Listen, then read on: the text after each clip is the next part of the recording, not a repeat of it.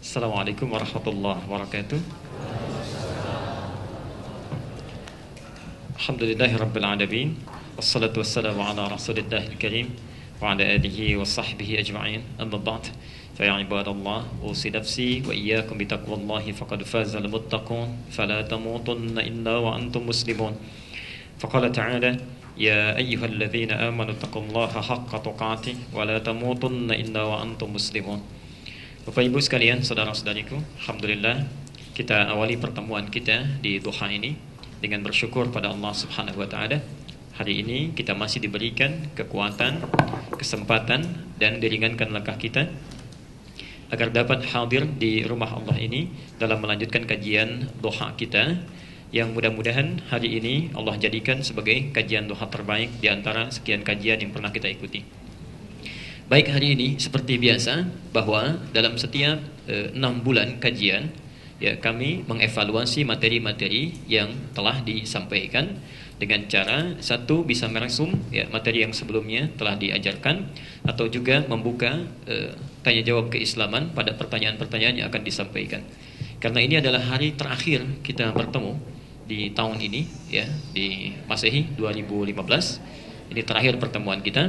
Nah, seperti biasa di akhir pertemuan kami membuka untuk eh, tanya jawab keislaman bila ada hal-hal yang ingin disampaikan dan kita akan berlanjut kembali dalam sesi berikutnya untuk melanjutkan kajian As-Sunnah An-Nabawiyah.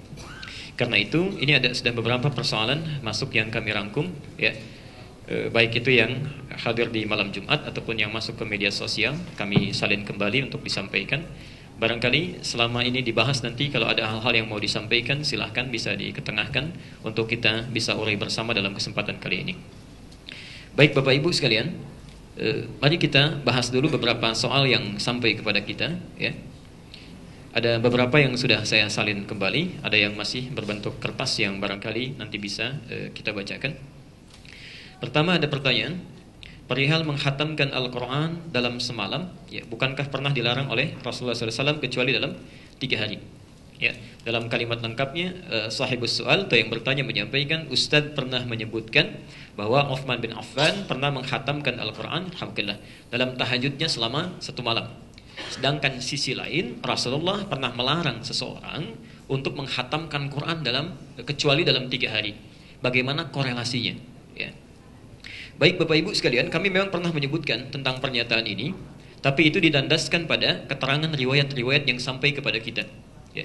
Misal bisa kita temukan ada sebagian sahabat-sahabat Rasulullah Sallallahu Alaihi Wasallam yang memang dalam kehidupan hariannya di samping kesibukan yang sangat padat dijalani. Saya katakan sangat padat dijalani, itu luar biasa. Ya.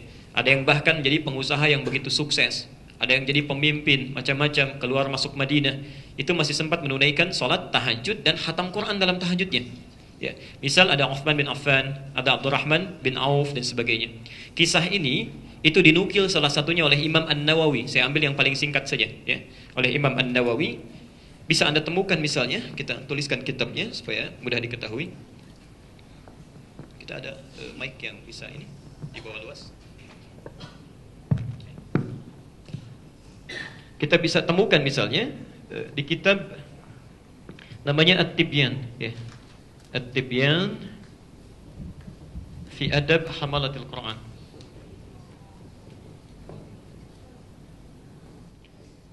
Jadi Imam An-Nawawi itu sebelum menulis Al-Arba'in 42 hadis, Riyadhus Salihin 1896 hadis ya.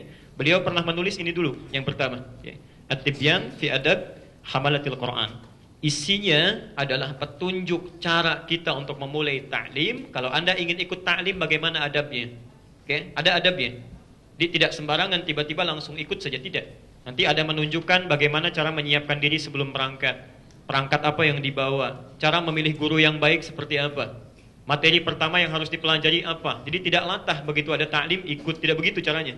Ya, ada pilihan-pilihan. Nah, ini kitabnya. Yang kedua nanti petunjuk cepat untuk menghafal Quran.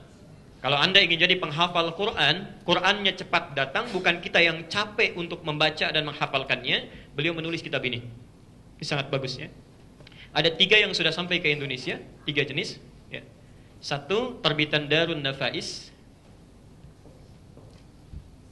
Warnanya kuning. 183 halaman. Kisah tadi tentang para penghafal Quran di balik ah ini, di balik kesibukannya yang warna kuning ini. Di balik kesibukan yang masih sempat menghatam, menghatamkan Quran, tahajud sambil hatam Quran, Anda temukan di halaman 47 ini. Ya, sampai halaman 48 di sini dimulai di paragraf ketiga baris 1 sampai dengan 5. Anda bisa teruskan. Yang kedua ada terbitan dari Darul Maktabah Al-Islamiyah. Al-Islamiyah. Ini warnanya coklat, sampingnya putih. Ya. Uh, anda temukan di halaman ke-37. Ini 189 halaman jumlahnya. Anda temukan di halaman 37 sampai halaman 38. Kenapa beda halaman? Saya sampaikan dulu perbedaannya. Kalau yang ini, ini keunggulannya, di dalamnya kalau ditemukan hadis-hadis, maka ada tahkiknya. Tahkik itu untuk merujuk sumber hadisnya, memastikan sahih atau tidaknya. Di begitu Anda mendapatkan hadis, misal innamal a'malu bin niat, di bawahnya ada catatan. Bisa ditemukan di Al-Bukhari nomor hadis yang pertama, misal, ya. Nah, kalau di yang coklat itu tidak ditemukan, tidak ada tahkiknya. Cuma keunggulannya metodologi dalam menyantumkan bab-babnya itu lebih rapih. Di sini tidak. Ini cuma bab umum saja. Misal, yang bab yang kelima misalnya, bagaimana adab menghafal Al-Quran. Itu saja, ke sananya nggak di, dipecah lagi, tidak dijelaskan lagi subbabnya. Ya, cuma keterangan saja sampai akhirnya di kitab ini. Tapi di yang coklat dibuat bab-bab tersendiri. Kapan menghafal, ya, kapan mengulang, apa yang dipersiapkan. Ini yang coklat. Tapi dua-duanya bahasa Arab. Nah, dua-duanya bahasa Arab. Ustaz, agak kesulitan kalau pakai bahasa Arab. Ada nggak bahasa Indonesia? Ada. Saya lihat sudah diterjemahkan. Salah satunya penerbitnya Al-Qawam namanya. Al-Qawam. Warnanya putih. Ya. Covernya warna putih. Sudah dua kali cetakan. Yang pertama Jumadal Akhirah. Bulan Maret 2014. Cetakan keduanya bulan April setahun kemudian. 2015. Terjemahannya ada 214 halaman. Kisah ini yang saya sebutkan itu Anda temukan di halaman 57 sampai halaman 58. Dimulai dari paragraf yang kelima, baris satu pindah ke sebelah kanannya halaman 58. Nah, ini yang pakai bahasa Indonesia. Kalau Anda sulit menemukan, karena ini belum dijual bebas, baru pesan lewat internet, nah, bisa langsung di-download di internet. Ya, tulis aja di Google, misal At-Tibyan An-Nawawi. At-Tibyan An-Nawawi. Nanti insya Allah langsung di-download dalam bentuk PDF-nya. Please, tapi keterangannya biasanya lebih banyak menggunakan bahasa Melayu. Ya, itu gratis, tidak ada biaya. Tidak ada biaya. Ustadz susah juga mendownloadnya. Kalau susah nemukan kitabnya, yang terjemahannya, sulit mendownloadnya, ikut taklim aja. Itu paling gampang. Okay? Nanti diterangkan. Baik.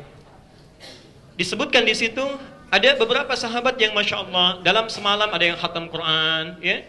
Bahkan ada yang Masya Allah, ada yang dalam Ramadan itu 60 kali khatam Quran.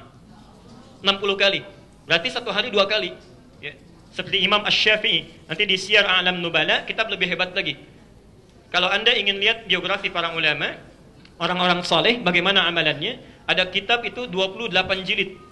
Namanya Syiar Alam Nubala ya perjalanan hidup rahmukallah tentang orang-orang yang cemerlang ya dari kalangan ulama di kita bisa temukan juz ke-10 halaman 36 nanti ada kisah Imam Asy-Syafi'i ya ada kisah tentang Qatadah juz ke-4 halaman 51 nanti kita akan bahas pelan-pelan nah sekarang sahabat kita bertanya kalau ada uraian demikian ya ada seorang sekali hatam Quran sehari dua kali hatam Quran Sementara Nabi pernah melarang seseorang untuk menghatamkan Quran kecuali dalam tiga hari. Ya. Pernah dengar riwayatnya? Dari mana? Ah, dari hadis. Baik. Abu Daud nomor hadis 1390.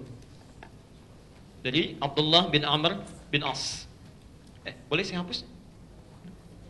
Jangan-jangan Ustaz saya aja yang hapus. Saya hapus ya. Pegang. Sebentar pelan Yuk kita urutkan dulu ya bahasanya supaya lengkap bagaimana nanti bimbingan untuk membaca Al-Quran, menghafalkannya plus mempraktekannya. Saya urutkan dulu berdasarkan hadis-hadisnya. Al-Bukhari Marhadis 4998 bisa dipraktikkan dengan dua cara. At-Tirmidzi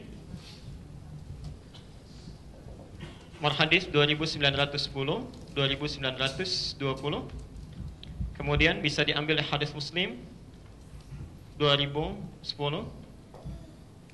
Kalau ini sudah bisa dilakukan, ini yang diprioritaskan. Kita temukan Muslim Marhadis 1389 At-Tirmidzi Marhadis 2682 Kalau ini sudah bisa dilakukan baik. batasan-batasannya Abu Daud. Nah ini intinya. Per hadis 1390 orang yang sudah bisa melampaui ini boleh lebih daripada ini. Bisa ditemukan di kitab Siyar A'lam Nubala.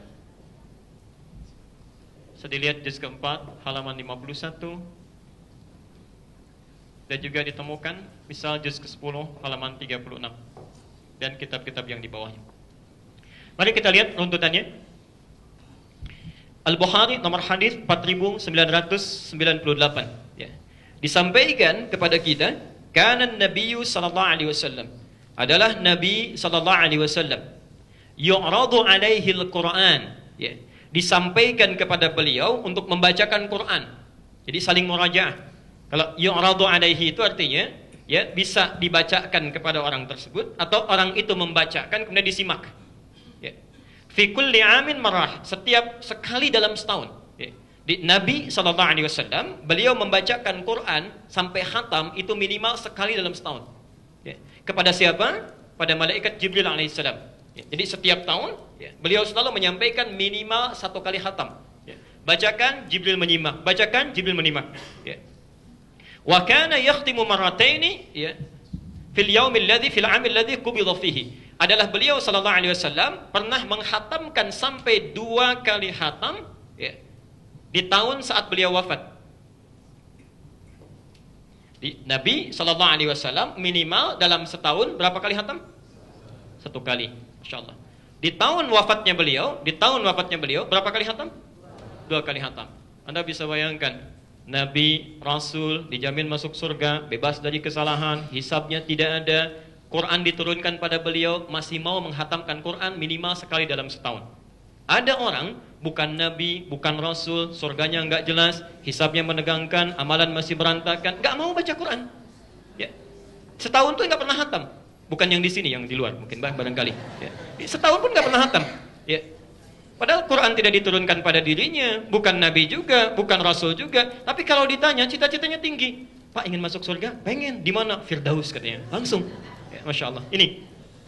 Jadi dari sini ada sunnah yang sunnah yang bisa kita dalami, praktekkan dalam kehidupan bahwa Rasulullah itu sekalipun Quran diturunkan pada beliau dalam jiwanya ditanamkan itu nggak tanggung tanggung ya jadi ketika Nabi ingin menghafalkan dengan cepat eh, wahyu turun Muhammad jangan cepat-cepat tenang saja kami tanamkan Quran dalam jiwamu bukan Nabi yang menghafalkannya Allah yang tanamkan Quran surah 75 ayat 16 sampai 18 al-qiyamah.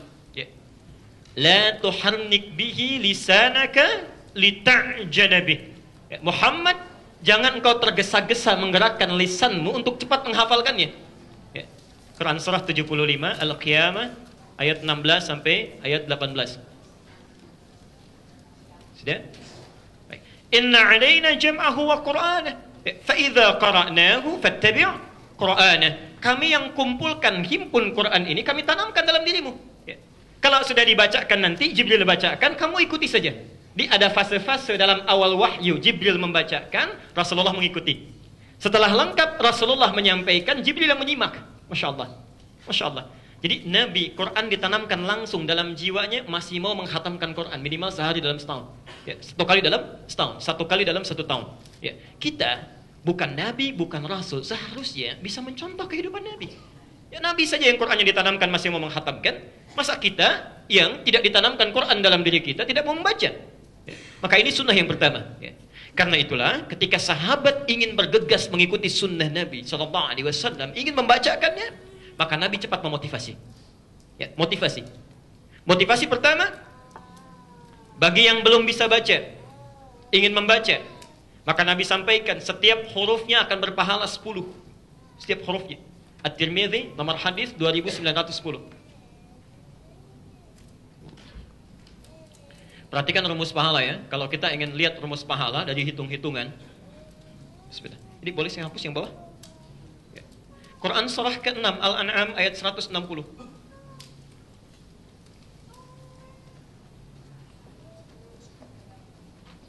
Perhatikan kalimatnya.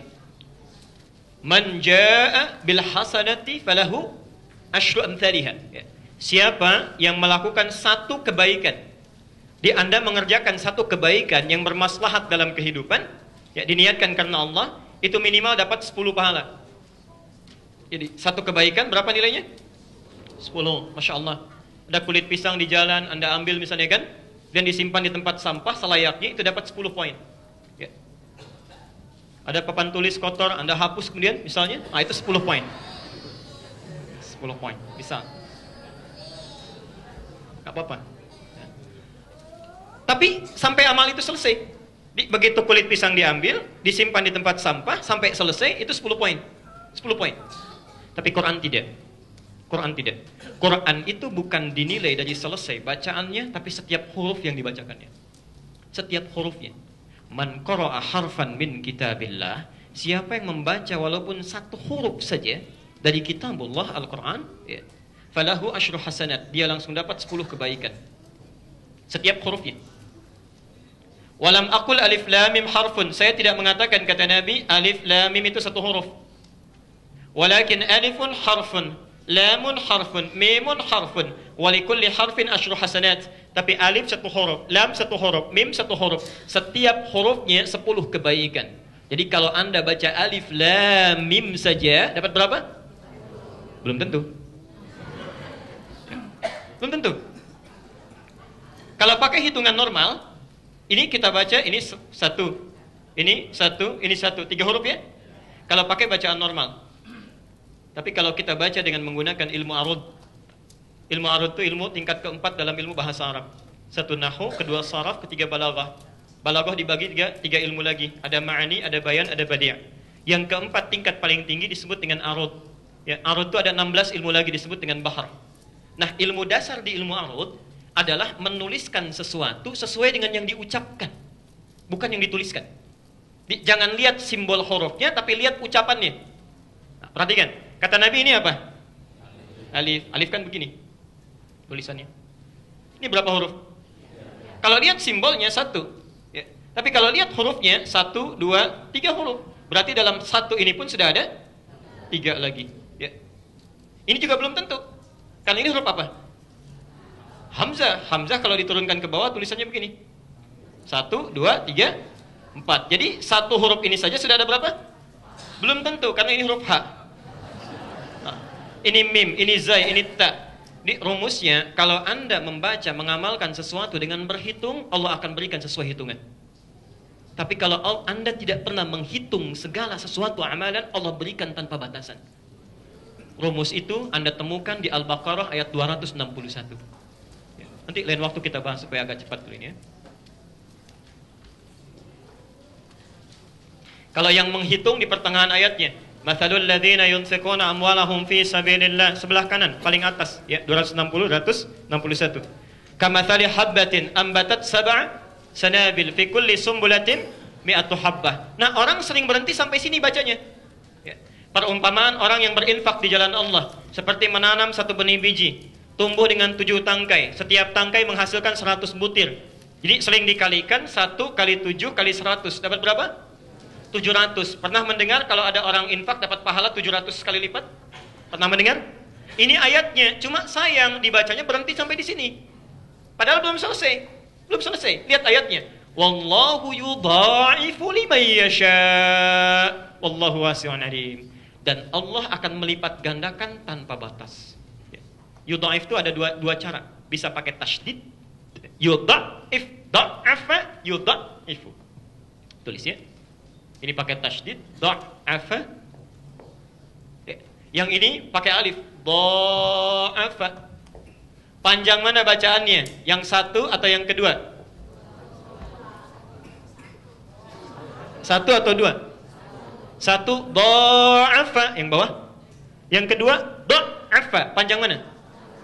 Yang satu. Perhatikan sesuatu kalimat kalau diberikan alif di tengahnya itu menunjuk pada satu bacaan yang panjang, proses yang lama, ya, atau sesuatu yang berlimpah tanpa batas. Karena itu setiap kalimat kalau ditambahkan alif pasti dibaca a panjang. Ya. Tapi kalau alifnya dibuang diganti dengan tasydid, itu artinya walaupun ditambahkan tapi masih bisa dihitung. Masih ada batasan. Dan di ayat itu kalimatnya tidak menggunakan tasydid tapi alif. Wallahu yudhaifu liman yasha. Dan Allah akan lipat gandakan tanpa batasan. Bagi siapa yang dikehendaki. Saya kembalikan. Saya agak pelan-pelan. Jadi bagi orang yang ingin mengikuti sunnah Nabi baca Quran, khatam minimal sekali dalam satu tahun, maka Nabi memberi motivasi, pertama belajar dulu. Baca Quran yang benar. Satu hurufnya diberikan pahala sepuluh kebaikan. Kalau tidak hitung-hitungan tanpa batas yang tidak kita ketahui. Ya Rasulullah, saya kurang lancar kalaupun baca masih masih berat membacanya, masih terbata-bata. Kata Nabi jangan khawatir, baca saja. Pahalanya dua kali lipat dibandingkan dari yang lancar. At-Tirmidzi nomor hadis 2920. Walladzi yatata'ta. Adapun orang yang terbata-bata membacanya, wa huwa alai, sudah terbata-bata berat mengucapkannya. Orang membacakan a'udzu, dia membaca a'udzu, bisa? Kata Nabi, falahu ajran dia akan mendapat minimal dua kali pahala orang lancar. Dua kali. Jadi kalau a'udhu berapa huruf? A'udhu berapa huruf? Empat. Misal kita hitung-hitung. Empat kali sepuluh berapa? Empat puluh. Yang tidak lancar terbata-bata ini dua kali ini minimal. Jadi berapa? Masya Allah. Kalau gitu besok saya nggak lancar aja Ustaz baca. Nah, itu itu persoalan serius. Maksudnya pahala bacaan dan pahala kesungguhan belajarnya. Ya. Tapi kalau Anda sudah mampu membacanya dengan baik, maka yang diarahkan oleh Rasulullah itu pada bagian yang kedua, yang ini. Pelan-pelan. Saya pelan dulu. Yang pertama ini belajar baca dulu. Ya. Bacaannya disebut dengan kiroah. Kiroah. Orangnya disebut dengan kori. Cuma baca. Tapi kalau Anda sudah mengerti cara membacanya, bagus bacaannya, maka diarahkan pada bagian yang kedua, disebut dengan tilawah. Tilawah.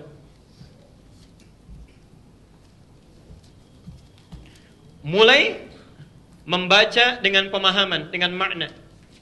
Dengan makna. InsyaAllah. Dan bacanya nggak banyak-banyak. Ya. Kalau yang pertama barangkali ada yang sekali baca satu juz, dua juz, tiga juz, tilawah tidak. Tilawah tidak. Masya Allah. Sahabat itu paling maksimal baca lima ayat. Lima ayat. Setelah mereka lancar membacanya. Dari lima ayat itu dipahami isinya. Ke mana arahnya, apa petunjuknya, lalu diamalkan. Kalau anda sudah bisa melakukan itu, walaupun cuma baca lima ayat, tapi bisa mengamalkan, memahami dalam kehidupan, maka pahalanya perhatikan. Bukan cuma dihitung setiap hurufnya 10 kebaikan. Lebih daripada itu. Hadis Muslim nomor hadis 2010. Ini saat membacanya, belum diamalkan, saat membacanya. Perhatikan kalimatnya. Majtama qaumun fi baitin min buyutillahi. Tidaklah berkumpul orang-orang di satu tempat di rumah Allah. Yatluna kitaballahi, mereka melakukan tilawah kitabullah. Tilawah Al-Quran, bukan kiraah, bukan cuma baca, tapi memahami artinya. Misal, ada kajian Ustaz misalnya Abdullah Amin membahas tentang tafsir. Ya. Itu kan paling yang dibaca satu ayat ya satu ayat, lalu beliau uraikan maknanya, beliau sampaikan pemahamannya, antum ikut. Maka saat Anda mengikuti itu, itu Allah berikan keutamaan yang tidak diberikan pada yang lain kecuali yang tilawah saja. Empat keutamaan melalui lisan Nabi. Ya. Satu,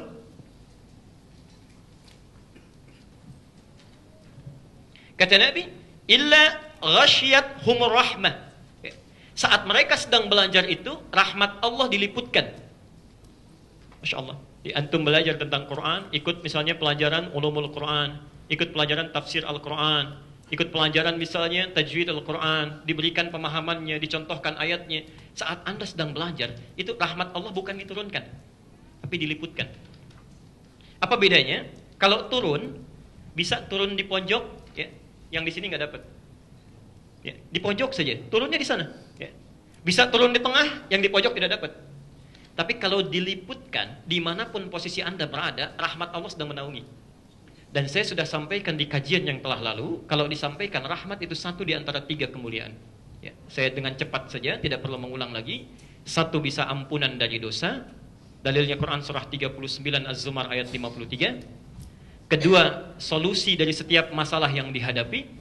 Anda punya masalah apa saja, Anda berdoa, Allah berikan jawabannya. Ya. Dalilnya Quran surah kedua Al-Baqarah ayat 155 sampai 157. Dan yang ketiga, adalah kebutuhan dunia dan akhirat. Anda yang punya masalah dunia, minta ini, minta itu, punya masalah akhirat, ingin bertemu dengan ini di surga ini, di surga itu, Allah seketika akan berikan kemudahan dalam hidupnya. Ya, dalilnya Quran, surah yang pertama ayat yang ketiganya. Pemberian dunia disebut dengan Rahman, pemberian akhirat disebut dengan Rahim. Ya, satu. Yang kedua, nazalat alaihi musakinah.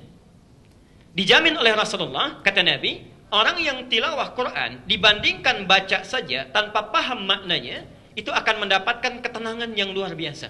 Ya. Lebih tenang dibandingkan yang cuma baca saja. Tidak percaya silakan. Anda misalnya buka Quran, lu dibaca, misal, ya. Anda bacakan surat jangan panjang-panjang lah. Ambil misalnya surat yang lebih pendek, yang standar, Ad-Duha misalnya. Wad-duha wal-laili idza saja. Sampai sini saja. Anda baca tanpa menggunakan terjemah. Yang kedua, baca, lihat terjemahnya. Lalu pahami tafsirnya. Itu akan lain rasanya kepada hati dibandingkan cuma baca tidak tahu maknanya. Kata Nabi, pasti akan ada ketentang, ketentraman, ketenangan dalam jiwanya. Dua. Yang ketiga, humul malaika. Masya Allah. humul malaika. Saat dia belajar tentang tilawah ayat itu, itu malaikat bergabung ikut. Misal, yang baca cuma tiga orang di satu masjid. Itu belum tentu tiga makhluk. Barangkali yang baca, yang belajar tiga orang, yang menyertai 300 malaikat, bisa terjadi. Bisa terjadi. Ya, Masya Allah. Dan yang terakhir, saya agak cepat, ini yang paling hebat. Ini yang paling hebat. Wa dzakarahumullahu fi man indah. Bila ada orang mau bertilawah Quran, walaupun cuma satu ayat, dua ayat, kata Nabi, saat dia sedang belajar, itu disanjung-sanjung oleh Allah. Di sisi makhluk yang ada di sekitar arsy. Disanjung-sanjung oleh Allah. Masya Allah. Ada yang sudah pernah disanjung Allah? Boleh angkat tangan? Saya bawa coklat ini, saya kasih nanti kalau ada. Tidak? Kalau tidak, ayo kita mulai. Yuk cari taklim yang membahas tentang tilawah, tafsir dan sebagainya. Anda akan disanjung. Itu belum mengamalkan. Kalau Anda sudah mengamalkannya, Masya Allah. Kalau Anda mampu mengamalkannya, plus. Langsung hadisnya. Muslim, nomor hadis 1389. At-Tirmidzi, nomor hadis 2682. Perhatikan wa fadlul alim 'ala al-'abid ka fadlil qamari 'ala sa'iril kawakib. Saya bacakan hadis lengkapnya, maaf. Man salaka tariqan yaltamisu fihi ilman. Siapa yang menempuh jalan ya untuk belajar sebagian dari tuntunan agama Allah, ya. Sahalallahu lahu tariqan ilal jannah. Maka Allah akan balas balas keluangan waktunya, usahanya itu dengan memudahkan langkahnya menuju surga. Wa innal malaikata dan kalau penuntut ilmu tahu setiap malaikat innal malaika setiap malaikat la tadau ajnihataha membentangkan sayapnya ridwan li talibil ilmi dari mulai dia berangkat sampai pulang lagi memberikan ridha bagi para penuntut ilmu. Sekarang lihat. Wa fadlul alim dan keutamaan orang yang telah punya ilmu. Dia belajar satu ayat, dia amalkan. Saat dia mengamalkannya, kata Nabi, Wafatul alim keutamaan orang yang punya ilmu lantas mengamalkannya alal abid dibandingkan orang yang cuma ibadah saja tapi tidak tahu ilmunya. Tidak pernah tilawah, ibadah saja, ya. Tidak paham yang dia kerjakan. Itu kafadil qamari ala sa'ilil kawakib. Keutamaannya seperti rembulan dibandingkan seluruh benda yang ada di langit. Kata para ulama minimal dapat pahala seribu bulan. Seribu bulan. Mau nunggu sampai Ramadan silahkan, belum tentu hidup kurang lebih 83 tahun. Anda belajar tentang misal salat alladzina yu'minuna bil ghaib wa yuqimunas salat. Anda pelajari menyempurnakan salat. Bagaimana caranya? Lalu Anda pahami artinya, Anda amalkan. Begitu takbir misal, takbir angkat sejajar dengan bahu. Dari ayat itu saja satu, ya. Anda praktekkan itu karena dasar ilmunya, itu pahalanya sekali takbir sama dengan takbir 83 tahun tanpa henti. Ada yang bisa takbir 83 tahun tanpa henti begini saja. Sulit. Nah, dari keadaan ini, keterangan-keterangan ini, sahabat-sahabat Nabi mulai menggabungkan keduanya. Di Qur'annya dibaca, dipahami artinya. Ya. Sampai-sampai ada sahabat Nabi Umar bin Khattab. Ya, jenius luar biasa. Kalau dibacakan satu kalimat begini, ya, sampai satu halaman misalnya, itu Omar tuh saking jeniusnya, saking jeniusnya, itu bisa mengulang seketika tanpa keliru titik dan komanya. Tanpa keliru titik dan komanya. Tapi Masya Allah, ketika beliau membaca surah Al-Baqarah, itu 12 tahun baru bisa menghatamkannya. 12 tahun. Ya. Karena cara bacanya lain. Cara bacanya, baca tiga ayat, beliau amalkan dulu. Belum mampu mengamalkan, tidak pindah pada ayat berikutnya. Amalkan lagi, amalkan lagi. Setelah selesai mengamalkan, pindah lagi. Al-Baqarah dalam jangka waktu 12 tahun. 12 tahun. Tapi yang paling menarik, setelah paham isinya, mengerti kandungannya, sudah mampu mengamalkannya, bisa hatam Quran sehari empat kali. Dua kali siang, dua kali malam. Umar bin Khattab. Ya. Maka anda temukan orang-orang yang pernah menghafal Quran, memahami, mempraktekkan, ya sudah paham sudah ngerti isinya, sudah praktekkan, sudah sudah tahu kandungannya, maka ketika beliau ulang-ulang pun dalam semalam bisa selesai, bisa satu kali, bisa dua kali. Bahkan ada yang menghatamkan Quran antara maghrib sampai isya. Maghrib ke isya, hatam Quran. Anda bisa bayangkan. Maghrib ke isya, hatam Quran. Ya. Karena sudah paham isinya, ngerti kandungannya, sudah mempraktekkan, kurang apa lagi? Pada yang seperti ini, Nabi tidak pernah melarangnya. Tidak pernah melarangnya. Tapi ketika seorang anak kecil datang, namanya Abdullah bin Amr bin As. Usianya masih kecil. Ya, belum masuk dalam tahap muda. Bertanya pada Rasulullah SAW, Ya Rasulullah, fikam akra'ul Quran. Ya Rasulullah, berapa lama waktu yang saya butuhkan supaya saya bisa menghatamkan Quran? Kata Nabi, syahr, sebulan. Sebulan. Kata Abdullah bin Amr bin As, ini aqwa min dhalik. Saya mampu lebih daripada itu. Ya. Kata Nabi, usbu' seminggu. Satu minggu.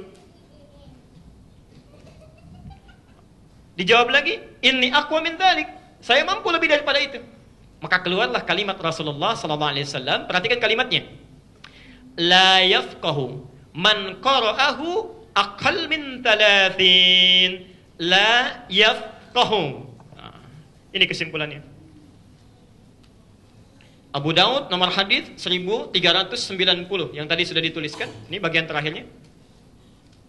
Kalimat nabinya la yafqahu man qara'ahu aqallu min thalathin la yafqahu tidak akan mampu memahami isinya. La yafqahu tidak akan mampu memahami isinya kandungannya. Ya, pelan-pelan. Man qara'ahu. Siapa yang membaca Quran itu? Ya, akal min talatin kurang dari tiga hari. Kurang dari tiga hari. Pelan-pelan. Hadis ini disepakati oleh para ulama, pertama, itu tidak pernah terdapat di hadis ini satupun kalimat yang melarang orang menghatamkan Quran kurang dari tiga hari. Tidak ada larangannya.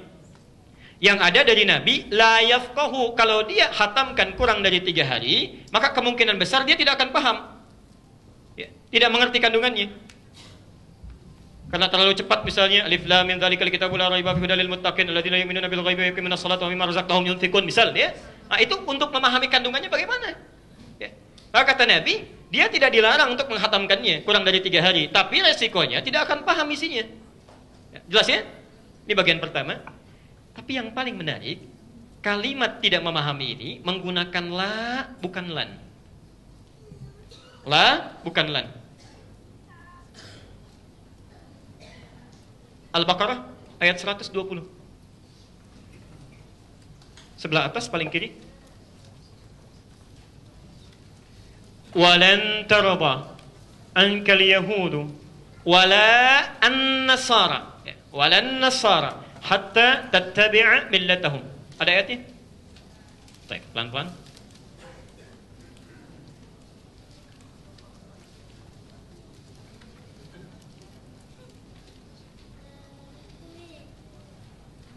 Walan tarada ankal yahudu walan nasara hatta tattabi'a millatahum.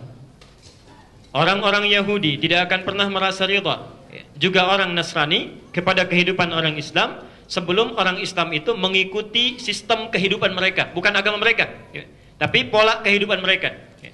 Di orang Yahudi itu tidak akan pernah nyaman hidup dengan kita sebelum kita itu ikut sistem kehidupan mereka. Politiknya mesti diatur mereka, ekonominya mesti diatur mereka. Kalau kita berada di atas mereka, mereka nggak akan suka, tidak akan suka. Ya. Begitu pula dengan orang-orang Nasrani. Tapi yang menarik, ketika mengungkapkan orang Yahudi, hurufnya menggunakan lan. Lihat kalimatnya, lan. Ada ayatnya? Tapi begitu mengungkapkan orang Nasrani, hurufnya pindah dari lan menjadi la. Ya.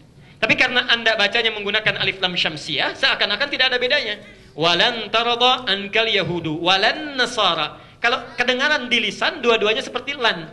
Lan tarada ankal yahudu, walan nasara. Tapi kalau anda lihat ke mushaf, untuk Yahudi menggunakan lan, untuk Nasrani menggunakan la. Ya. Jelas ya? Baik, lihat sini bedanya. Kalau ada kata lan, ya, temukan dalam satu kalimat, itu artinya harfun nafyin wastiqbalin. Ya.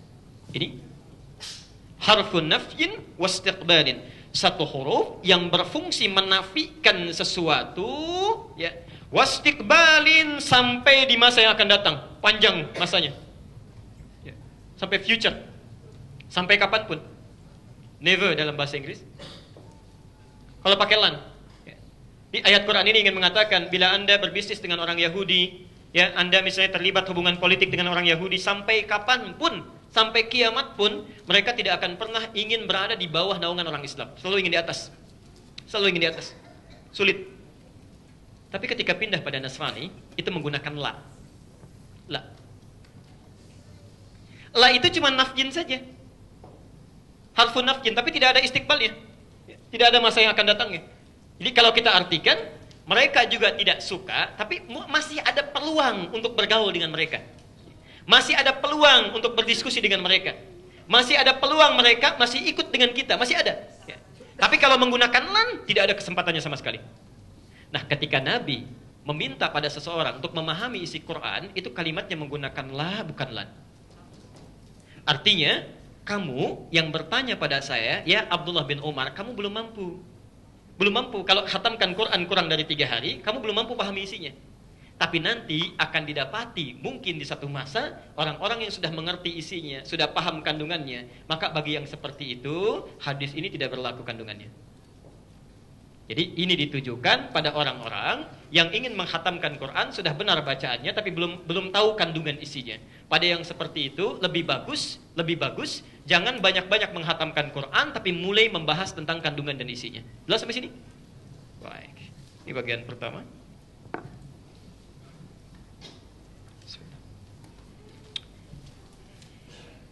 Pertanyaan yang kedua, manakah doa iftitah yang dibacakan dalam solat? Ya. Manakah doa iftitah yang bisa dibacakan dalam solat dan bagaimana hukumnya?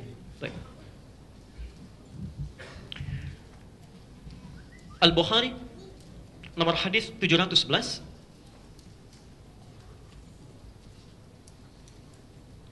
Kemudian hadis Muslim nomor hadis 1848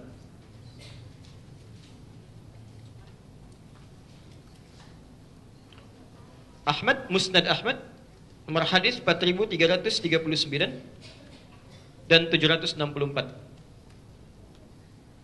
Al-Bukhari Nomor hadis 711 dari Abu Hurairah. Hadis Muslim Nomor hadis 1848 Musnad Ahmad. Bukan Sunan Ahmad ya Tapi Musnad Ahmad. Nomor hadis 4339 dan 764 Ini sama dengan yang di Muslim. Kemudian Ibnu Majah. Nomor hadis 3221. Baik. Bapak Ibu setelah takbir dalam sholat Allahu Akbar. Ya. Kemudian membaca apa? Nah, pertanyaan saya iftitah atau istiftah? Baik, yang iftitah angkat tangan. Yang istiftah angkat tangan. Saya ulang lagi. Yang benar iftitah atau istiftah? Baik. Yang wallahu a'lam angkat tangan. Baik. Doa iftitah atau disebut juga dengan istiftah itu ada 12 doa. Bukan cuma satu, ada 12 doa. Ada yang panjang, ada yang sedang, ada yang pendek. Sekarang perhatikan. Kalau saya tuliskan misalnya Kalimat kita tuliskan iftitah. Yang kedua istiftah. Panjang mana bacaannya? Iftitah atau istiftah? Satu atau dua? Dua. Perhatikan, yang ini lebih pendek ya. Nah, dari 12 doa ini, ada yang sifatnya pendek sampai menengah, ada yang sifatnya panjang. Ya, Yang pendek misal, Allahu Akbar kabira, alhamdulillahi kathira, subhanallahi bukratan. Berhenti sampai di sini. Berhenti sampai di sini. Ya, itu doa disebutkan dalam kitab Musnad Ahmad nomor hadis 4339. Ya, disampaikan oleh Abdullah bin Umar. Ya, Abdullah bin Umar, Ibnu Umar. Ada lagi lebih singkat daripada itu. A'udzubillahi samil alim minasyaitonir rajim. Selesai. Ya. Ada yang agak panjang, menengah agak panjang. Allahumma ba'id baini wa baina khatayaya kama ba'adta bainal masyriqi wal maghrib. Allahumma naqqini minal khataya kama yunaqqa thawbal abyadu minad danas. Misal dan seterusnya itu Anda temukan di Al-Bukhari nomor hadis 711. Ada lagi lebih panjang daripada ini. Wajjahtu wajhiya lilladzi fatara samawati wal arda hanifa muslima wa ma ana minal itu panjang sampai ke bawahnya. Anda bisa temukan di hadis Muslim nomor hadis 1848 atau di Musnad Ahmad nomor hadis 764 sampai setengah potongannya. Nah, kalau Anda bacakan yang pendek sampai menengah, itu bahasa fikihnya disebut dengan iftitah. Kalau Anda bacakan yang panjang bacaannya, maka ulama menambahkan sin di depannya menjadi istiftah. Jadi kalau disebutkan istiftah, artinya doanya agak panjang. Kalau disebutkan iftitah, pilih yang pendek. Kenapa ada yang panjang dan ada yang pendek? Karena Rasulullah meminta kita memilih doa ini sesuai dengan keadaan kita saat akan menunaikan sholat. Ya. Kalau anda sholat dalam keadaan yang tenang, tidak ada masalah, misal sholat fardu, maka pilih yang sedang-sedang silahkan. Kalau anda sholat malam, waktunya sangat panjang, hubungan dengan Allah tinggi, pilih yang paling panjang. Kalau Anda sedang menunggu pesawat, menunggu kendaraan, mau berangkat, pilih yang paling pendek. Ya, kesempatan semua masih bisa dibaca. Ya, jelas sampai sini? Ah, sekarang perhatikan. Di antara 12 doa yang menjadi pilihan, umumnya, umumnya masyarakat di Indonesia memilih satu di antara dua. Satu, memilih menggabungkan dua doa sekaligus, Allahu Akbar kabira dengan yang wajah tuh. Oke? Okay? Seringkali diajarkan anak-anak kita ya dengan bacaan saat kecilnya Allahu Akbar kabira walhamdulillah subhanallahi bukratan wa asila ada dalilnya ada itu satu doa pertama lalu digabungkan dengan yang kedua ya, selanjutnya apa awas ini wajah tuh atau wajah tuh oh dipikir-pikir dulu waktu kecil bacanya apa ini wajah tuh sudah besar oh, sudah besar lagi Baik. Awas, awas, Anda mesti bedakan. Ada ini wajah tu, ada wajah tu itu berbeda. Ya, itu berbeda. Tapi hadisnya ada juga. Saya sering sampaikan yang menggunakan ini wajah tu ada hadisnya. Anda temukan di Ibnu Majah nomor hadis 3221 dari sahabat Jabir bin Abdullah. Jabir bin Abdullah. Pelan-pelan. Saya mau sampai tuntas membahas ini. Sekarang kita bedakan dulu antara wajah tu dengan ini wajah tu. Kalau Anda membaca wajah tu, walaupun disambungkan dengan Allahu Akbar kabira, itu benar. Dua doa disambungkan. Benar. Hadisnya Sahih Muslim nomor hadis 1848 Ya, Mustad Ahmad nomor hadis 764 dari Ali bin Abi Thalib. Kata Ali, saya bacakan hadisnya. Sallaitu khalfa Rasulillah sallallahu alaihi wasallam. Saya pernah salat di belakang Rasulullah sallallahu alaihi wasallam fastaftaha. menggunakan istiftah. Fastaftaha. Maka beliau membaca doa istiftahnya, istiftahnya. Ya, wajjahtu wajhiya lilladzi fatara samawati wal ard dan seterusnya hadis. Panjang itu redaksinya. Ya, panjang redaksinya. Kalau Anda ingin singkat misalnya, sampai hanifah wa ma ana minal inna salati wa nusuki wa mahyaya lillahi rabbil alamin la syarika lahu bidzalika umirtu wa ana wa ana minal muslimin atau wa ana awwalul muslimin. Ada sampai situ. Riwayatnya tadi dari Ibnu Umar di Musnad Ahmad nomor hadis 4339. Tapi dua-duanya dimulai dengan wajah itu tidak menggunakan ini. Kalau Anda ingin baca yang pakai ini, bisa ditemukan di Ibnu Majah nomor hadis 3221 dari Abdullah eh, Jabir bin Abdullah. Tapi bisa dibaca kapan dibacanya? Ah, dari mana taunya? Eh kita bacakan dulu hadisnya ya, baru kita simpulkan. An Jabir bin Abdullah radhiyallahu anhu qal. Hadis riwayat Jabir bin Abdullah, semoga Allah meridai kepada beliau. Beliau sampaikan, "Ra'aitu, saya sering kali melihat Rasulullah sallallahu alaihi wasallam Rasulullah sallallahu alaihi wasallam hina yadhbah setiap kali beliau menyembelih hewan kurban aqbala al-qiblah menghadapkan hewannya ke arah kiblat thumma qala kemudian mengatakan Allahumma hadha min Muhammad. Ya Allah, mohon terima kurban ini dari Muhammad wa ali Muhammad dan dari keluarga Muhammad wa umat Muhammad dan dari umatnya Muhammad yang dalam hidupnya tidak pernah bisa kurban. Rasulullah sallallahu alaihi wasallam orang paling takwa di muka bumi ini ketika akan kurban masih memikirkan umatnya yang belum bisa berkurban. Umatnya umatnya yang bukan rasul, bukan nabi, ya. Kadang-kadang korbannya juga iuran atau satu kambing satu, baru dapat satu sudah perebutan pahanya.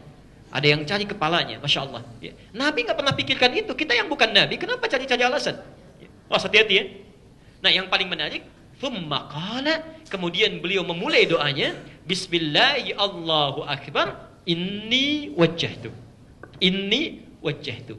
Eh, kami mengecek di 1235 kitab hadis yang ada sekarang dari mulai yang sahih sampai yang palsu pun, sampai hadis palsu pun tidak didapati doa ini wajah itu dipakai dalam sholat. Hadis palsu aja nggak ada. Hadis palsu aja tidak ada. Yang saat sholat menggunakan ini wajah itu, karena pemalsu hadis pun tidak tertarik. Ya tidak tertarik karena sudah tahu doa ini dibaca saat menyembelih hewan kurban. Ya. Bahkan seorang tokoh NU, namanya Kiai Haji Muhyiddin Abdul Somad, mengarang buku judulnya fikih tradisionalis. Ya, itu pedoman orang itu yang fikih tradisionalis ya. Ada 393 halaman. Warnanya coklat luarnya.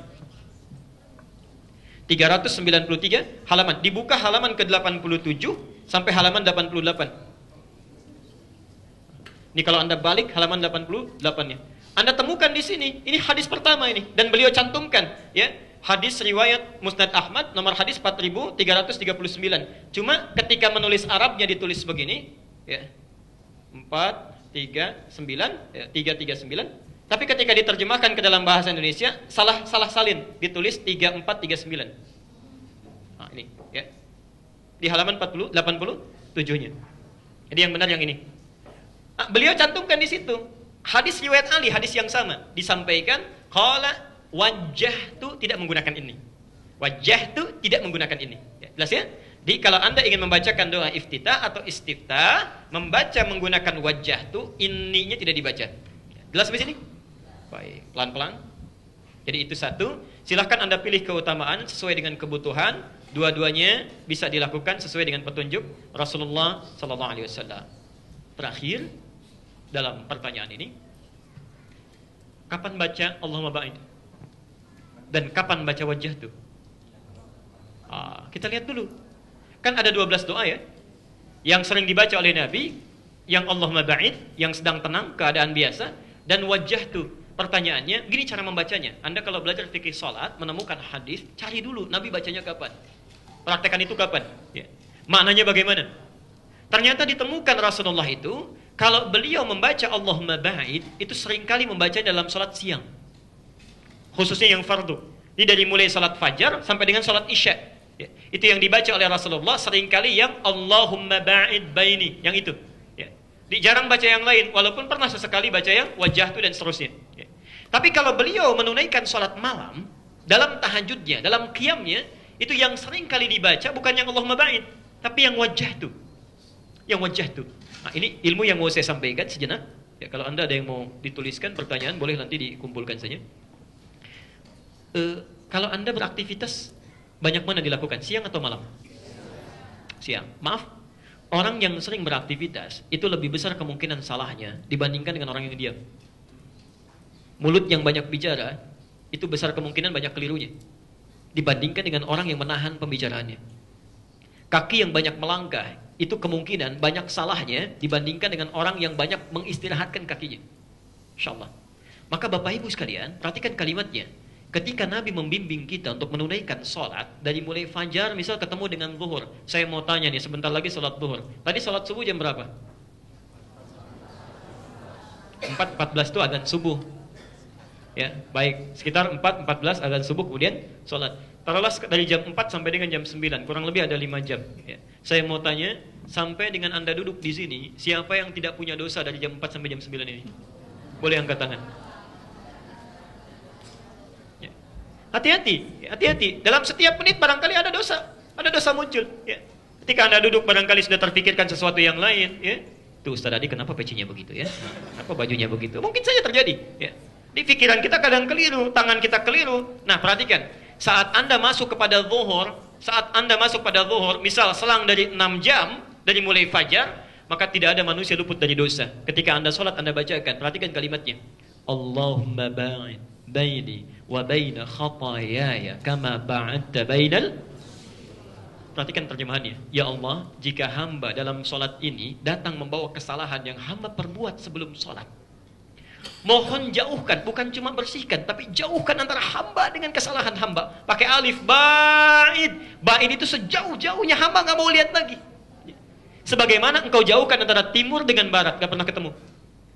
Allahumma naqqini minal khataya kama yunaqqa thawbul abyadu minad danas.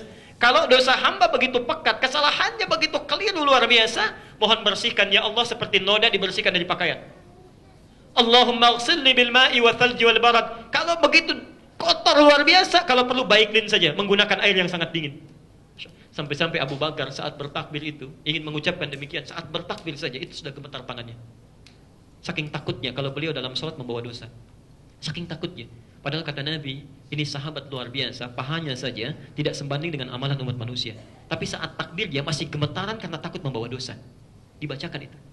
Makanya muncul hadis Nabi, sholat yang satu dengan sholat yang lainnya menggugurkan dosa-dosa di antara keduanya selama bukan al-kabair. Pernah dengar hadisnya? Makanya anda saat membacakan doa itu Allahumma ba'id, bukan sekedar lisan mengungkapkan, tidak. Tapi hati kita merasakan salah apa tadi. Barangkali seorang suami ketika sedang sholat ada kata yang kasar terhadap istrinya, terhadap anaknya. Istri ada wajah yang tidak disenangi oleh suaminya. Ya. Ada ibu yang pernah menangis dalam air matanya. Ada tetangga yang kecewa. Anda bertobat itu. Ya. Karena itulah ketika Anda tobat, Anda minta, enak rasanya itu. Hati-hati, hati-hati. Belum tentu kita selesai sampai sholat. Mungkin diwafatkan dalam sholat. Mungkin terjadi. Ya. Begitu Anda, Masya Allah, istighfar. Kemudian ruku, sujud. Sujud itu kan tobat lagi. Begitu Anda sujud mengingat dosa-dosa, kemudian tiba-tiba waktunya tiba untuk pulang. Diambil nyawanya oleh Allah, meninggal dalam keadaan sujud. Masya Allah. Sudah diampuni dosanya. Mau meninggal dalam sujud? Nanti duhur ya, sebentar lagi. Mau silakan. Sebaliknya kalau malam, ya, yang dibaca oleh Nabi yang wajah itu ya, untuk menghadirkan kenikmatan dalam bacaan karena bacaan malam beda dengan siang. Quran surah ke-73 ayat ke-6. Inna nasyi'atal laili hiya ashaddu wat'aw wa aqwamu qila. Allah. Sungguh bacaan yang Anda bacakan ya, di malam hari itu itu akan lebih khusyuk, lebih menyentuh ke dalam jiwa dibandingkan yang dibaca dalam siang. Ya. Karena itu Nabi jarang sekali membaca Allahumma ba'id tapi membaca yang wajah itu. Perhatikan cara membacanya. Saya percepat. Wajah tuh wajhiya lilladzi fatara as-samawati wal ard hanifan muslima wa ma ana minal musyrikin insyaallah ya Allah hamba pasrahkan sepenuhnya diri hamba saat ini ya pada engkau penguasa langit dan bumi. Ya perhatikan. Inna salati wa nusuki. Sungguh salat yang hamba tunaikan sampai dengan malam ini dan seluruh ibadah yang hamba kerjakan sampai dengan saat ini wa mahyaya dan kehidupan hamba sampai malam ini wa mamati atau engkau wafatkan hamba di malam ini coba deh anda bangun ya malam-malam saat sedang sunyi, sepi, tidak ada orang, Anda berkata, "Ya Allah, kalau Engkau wafatkan hamba di malam ini misalnya." Sudah tidak ada godaan macam-macam itu. Khusyuk ke hatinya. Lillahi Rabbil Alamin hamba ikhlas ya Allah. Hanya untukmu penguasa semesta alam. La syarika lahu. Hamba berjanji tidak akan musyrik lagi. Wa bidzalika umirtu untuk itu hamba diperintahkan. Wa ana minal muslimin tawa ada awalul muslimin. Dan saya berjanji kalau diberikan kehidupan lagi di masa yang akan datang esok harinya hamba akan menjadi pribadi muslim yang lebih baik. Anda sudah janji? Ya. jadi kalau misalnya kemarin mohon maaf ya. Mohon maaf salat fardunya belum sempat ke masjid di dua waktu. Misal tiga waktu ke masjid tapi dua tidak maka anda berjanji akan lebih baik dibanding hari sebelumnya besoknya lima waktu ke masjid ya. yang sebelumnya cuma salat fardu tidak pernah salat sunnah besoknya dimulai salat sunnah yang sebelumnya nggak pernah baca Quran, besoknya walaupun cuma satu ayat. Itu wa ana minal muslimin. Jelas sampai sini? Baik. Ketiga, barangkali. Tidak pertanyaan yang masuk.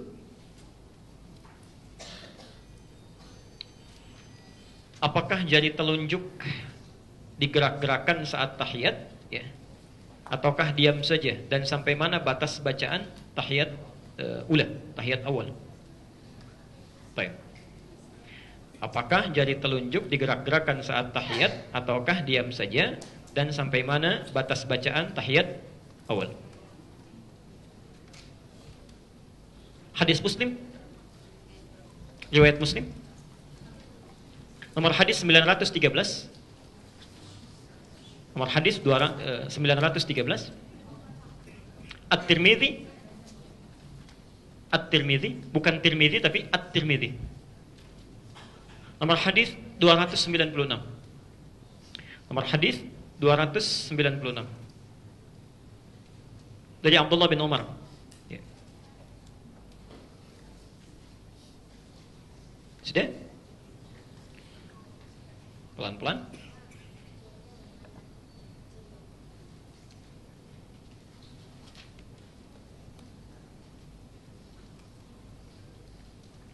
Ada lagi hadis dari Wa'il bin Hujur, Masya Allah, itu diriwayatkan kurang lebih sampai 12 orang, 12 jalur. 12 ya, jalur. Ada 12 jalur. Kalau Anda ingin dapati 12 ini, ke-12-12-nya, itu penjelasannya sangat bagus. Ya. Cari kitabnya Syekh Mustafa Al-Adawi, namanya Syarah Ilalul Hadith. Syarah Ilalul Hadith. Ini belum ada bahasa Indonesia-nya. Syarah Ilalul Hadith. Syekh Mustafa Al-Adawi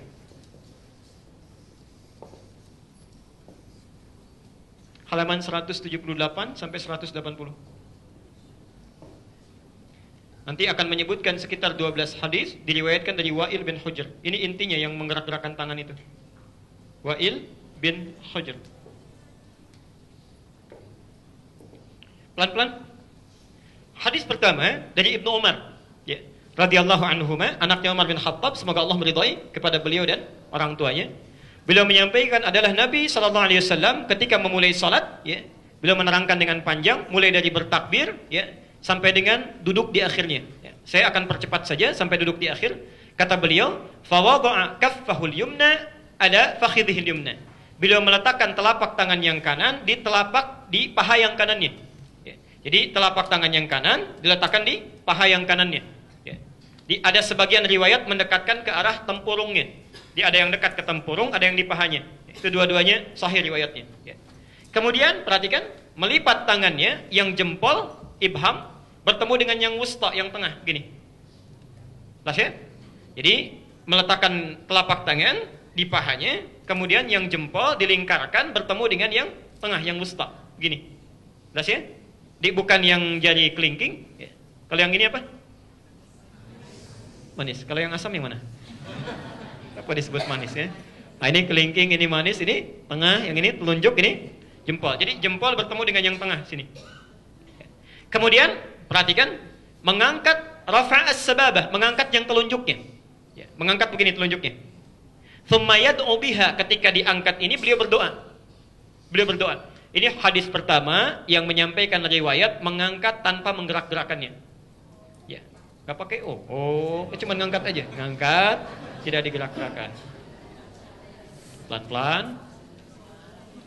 Anda bisa temukan itu di hadis Muslim, hadis 913 tadi dan At-Tirmidzi hadis 296. Ya. Hadisnya dari Ibnu Umar. Ya. Jadi mengangkat telunjuk tanpa menggerak-gerakannya, cuma diangkat begini, kemudian tanpa digerak-gerakan. Pelan-pelan saya selesaikan dulu ini ya, supaya nanti tidak bertanya lagi. Menyikapi hadis ini, hadisnya sahih, ya, hadisnya sahih. Menyikapi hadis ini, ulama kemudian berbeda pendapat dalam prakteknya. Berbeda pendapat dalam prakteknya. Imam Malik, beliau berpandangan karena hadisnya mengatakan mengangkat telunjuknya saat tahiyat, meletakkan tangannya di pahanya, mengangkat kemudian jari jari yang telunjuknya, melipat jempol dengan jari tengahnya begini, diangkat, yat ubiha kemudian beliau berdoa. Maka Imam Malik menyimpulkan mengangkat telunjuk saat tahiyat ini dimulai dari awal bacaan tahiyatnya. Ya. Di ketika Anda mengatakan at-tahiyatu lillah, ya? Atau at-tahiyatul mubarakatus salawatut tayyibat itu ada Eh, yang satu dari Abdullah bin Mas'ud, satu dari Abdullah bin Umar. Jadi ketika Anda mengatakan at-tahiyatu lillah, telunjuk diangkat begini. Ya. Jelas sampai sini? Ya, saya belum bicara kapan diturunkan ya, baru diangkat dulu saja. Nah. Kemudian kata Imam Abu Hanifah, Imam Abu Hanifah karena petunjuk isyarat ini ketika diangkat jadi telunjuk satu jari saja menunjuk pada kalimat tauhid dan kebiasaan orang-orang Arab ini, Imam Abu Hanifah ini, beliau dalam penalaran itu sangat cerdas sekali. Sangat cerdas. Beliau punya keunggulan kalau membaca sesuatu itu bukan bersandar hanya pada dalil tapi menafsirkan dalil pun lewat kaidah-kaidah bahasa, kultur dan logika. Itu uh, Abu Hanifah, ya Abu Hanifah. Pernah satu kali ada orang, Pak, sombongnya luar biasa. Di, nantangin orang sekampung. Menantang orang sekampung. Jadi ulama-ulamanya ditantang. Yang bisa, mana ulama di sini? Yang bisa jawab pertanyaan saya, itu orang hebat. Kata orang ini, sekitar berkumpul ulama dan tidak ada satupun yang bisa jawab. Ya. Dia katakan, bagaimana itu Allah tidak adil dalam kehidupan? Coba, Allah menciptakan kita manusia, diminta untuk ibadah. Kalau kita salah, kita dihukum, itu wajar. Tapi kan yang paling tidak wajar, kita dihukum karena kita dicipta dari tanah, dihukum pakai api, wajar sakit. Tapi kalau setan salah, dia dihukum, dia akan dicipta dari api. Disiksa dengan api juga. Ya, jadi dia disiksa dengan bahan penciptaannya. Bagaimana bisa merasa sakit? Ya. Jadi kalau manusia dihukum, manusia terbuat dari apa? Tanah. Dari mana tahunya? Al-Quran surah 15 ayat ke-28. Ya. Setan dicipta dari apa? Dari mana tahunya? Satu ayat sebelumnya. Ya. Wal jan khalaqnahu min naris samum. Khalaqnahu min qablu min naris samum. Dan jin kami ciptakan sebelumnya, sebelum manusia dari api yang sangat bergejolak. Ya. Loh apa hubungan hubungan jin dengan setan? Ya, maaf. Jin setan itu asalnya iblis, iblis ya. Al-Baqarah ayat ke-34. Wa idz qulna lil malaikati isjudu li adama fasajadu illa iblis. Siapa iblis itu? Asalnya jin. Jin. Dari mana taunya? Al-Kahfi ayat ke-50. Wa idh qulna lil malaikati isjudu li Adam fasajadu illa iblis kana minal jinni adalah termasuk kalangan jin. Ketika dia menggoda Adam disebut namanya dari iblis berubah jadi setan. Ya. Dari mana taunya? Al-Baqarah 36. Fa azallahuma syaitanu anha disebut setan. Karena itu ketika disebutkan setan dalam konteks Quran ada yang dikaitkan dengan jin, dikaitkan dengan jin. Nah, kata orang ini, kalau jin sih enak, setan enak. Dicipta dari api, dikembalikan ke api. Sama aja bohong. Pada saat itu nggak ada yang bisa jawab. Tiba-tiba datanglah seorang anak, maju ke depan, menyampaikan, saya bisa menjawabnya. Persis seperti anak itu berdiri itu. Ya. Nah, ya. Baik. Saya bisa menjawabnya. Nih. Masya Allah. Penasaran orang ini. Tapi tolong datang kemari. Tolong datang kemari. Ketika datang, itu tanpa bicara apa pun langsung ditampar pipinya. Mana orang ini? Ya. Eh, ini malah tani katanya. Kenapa anda tampar saya? Kata orang ini, anak kecil ini, loh, apa sakit sampai anda marah? Lah sakit katanya. Ah, bagaimana anda bisa merasakan sakit sementara pipi anda dari kulit? Ya. Tangan saya pun dari kulit. Masa kulit dengan kulit terasa sakit? Maka diamlah orang itu dibungkam dengan pernyataan anak kecil ini. Anak kecil inilah yang kemudian akan tumbuh namanya Nu'man bin Bashir bergelar Abu Hanifah. Abu Hanifah. Ya. Dan Abu Hanifah ini, mohon maaf Bapak Ibu sekalian, itu Masya Allah memiliki dua orang tua yang sangat saleh. Ya. Nanti di akhir kalau masih ada waktu saya ceritakan. Di dua orang soleh bertemu melahirkan seorang anak yang sangat soleh juga. Ya. Nah kata Imam Abu Hanifah, isyarat telunjuk saat diangkat ini, ini sebagai isyarat penegasan akan ke keesaan Allah. Karena kebiasaan orang Arab kalau disebutkan Allah, Allah, Allah itu suka mengangkat tangannya begini. Allah, Allah, Allah mengangkat tangannya, terutama dalam syahadat. Ya, dalam syahadat. Karena itulah kata Abu Hanifah, ketika telunjuk ini diangkat, itu bukan dari awal pertamanya, tapi ketika mengucapkan asyhadu alla ilaha, nah, diangkat begini. Ya. Dan ketika kalimat illallah sudah selesai, ditutup lagi. Selesai. Karena faidah mengangkat telunjuk ini hanya untuk mengikrarkan bahwa tiada Tuhan selain Allah. Lalu ditutup. Ya, pelan-pelan. Imam Ahmad bin Hambal berpendapat. Kata Imam Ahmad, ya, kata Imam Ahmad, mengangkat telunjuk ini itu dimulai bukan dari at-tahiyat tapi dari tah, dari mulai kalimat asyhadu alla ilaha illallah. Saya ulang, bukan dari kalimat pertama begitu selesai kita bangkit dari sujud at-tahiyat tahiyatul lillah. Ini belum diangkat kata Imam Ahmad. Ya. Diangkatnya persis ketika mengucapkan asyhadu alla ilaha illallah tapi tidak ditutup dulu. Dibiarkan terus sampai akhirnya. Kalau tahiyat yang pertama dibaca sampai dengan fil alamina innaka hamidum majid, kalau tahiyat yang terakhir dibaca tuntas sampai dengan salam. Jadi begitu assalamualaikum baru ditutup. Kata Imam Ahmad. Ya. Apa pandangan beliau? Ini bagus pandangannya, memadukan dalil-dalil yang ada. Kata Imam Ahmad, begitu tangan ini diangkat, kata Imam Ahmad, ya, itu menunjukkan kalimat syahadat, penunjuk itu, tapi di hadis akan disebutkan, dan Nabi berdoa dengan itu. Berdoa dengan itu. Di ketika diangkat, Nabi berdoa. Sedangkan lafad doa itu, itu dimulai setelah syahadat, bukan sebelum syahadat. Ya. Makanya ketika Anda berdoa, itu kan adabnya membaca salawat pada Nabi, kemudian berdoa kan? Maka orang-orang yang berdoa dalam tahiyatnya, bukankah dimulai setelah membacakan syahadat? Asyhadu anna ilaha illallah wa asyhadu anna Muhammad Rasulullah. Kemudian setelah itu apa? Allahumma salli ala Muhammad wa ala ali Muhammad kama sallaita ala wa ala ali fil alamin innaka itu kan doa. Itu kan doa. Maka kata Imam Ahmad, ketika anda mengangkatnya dalam tahiyat, diangkat begini, jangan dulu ditutup kecuali sampai selesai. Fil alamina innaka hamidum majid. Dan di tahiyat terakhir diangkat, baru kemudian ditutup kembali saat akan salam. Saat akan akan salam. Imam Malik mengangkat dari awal, tadi yang pertama, sampai terakhir. Ya, sampai terakhir. Di, diangkat begini, sampai salam, baru kemudian ditutup. Jelas sampai sini? Di, di sini ada tiga pendapat yang utama. Imam Malik, Imam Abu Hanifah, terakhir Imam Imam Ahmad. Tapi ketiganya belum mengomentari apakah digerakkan atau tidak. Digerakkan atau tidak. Baru kemudian ada hadis yang datang. Masya Allah sampai 12 matan. 12 matan. 12 redaksi. Disampaikan oleh Syekh Muhammad Mustafa Al-Adawi dalam kitab Syarah Al-Hadis ya. Halaman 178 sampai halaman 180. Semua 12 riwayat ini 12 riwayat ini ini mengacu pada orang yang sama dari sini. Di kurang lebih ada 12 orang menerima riwayat dari Wa'il. Dari Wa'il. Ya. Di antara riwayat ini ada yang bernama Ziyadah bin Qudamah. Ziyadah bin Qudamah.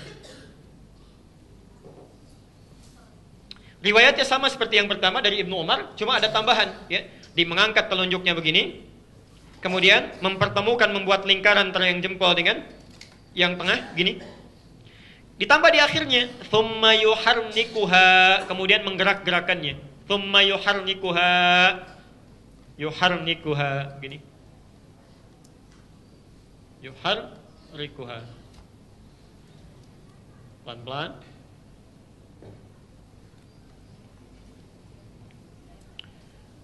Jadi caranya sama dengan yang pertama bisa diangkat di awal, diangkat di tengah-tengah, ditutup kembali, ya, atau diangkat tanpa ditutup sama sekali sampai akhir. Tapi yang ini hadis kedua itu ketika diangkat sambil menggerak-gerakkan. Jelas sampai sini?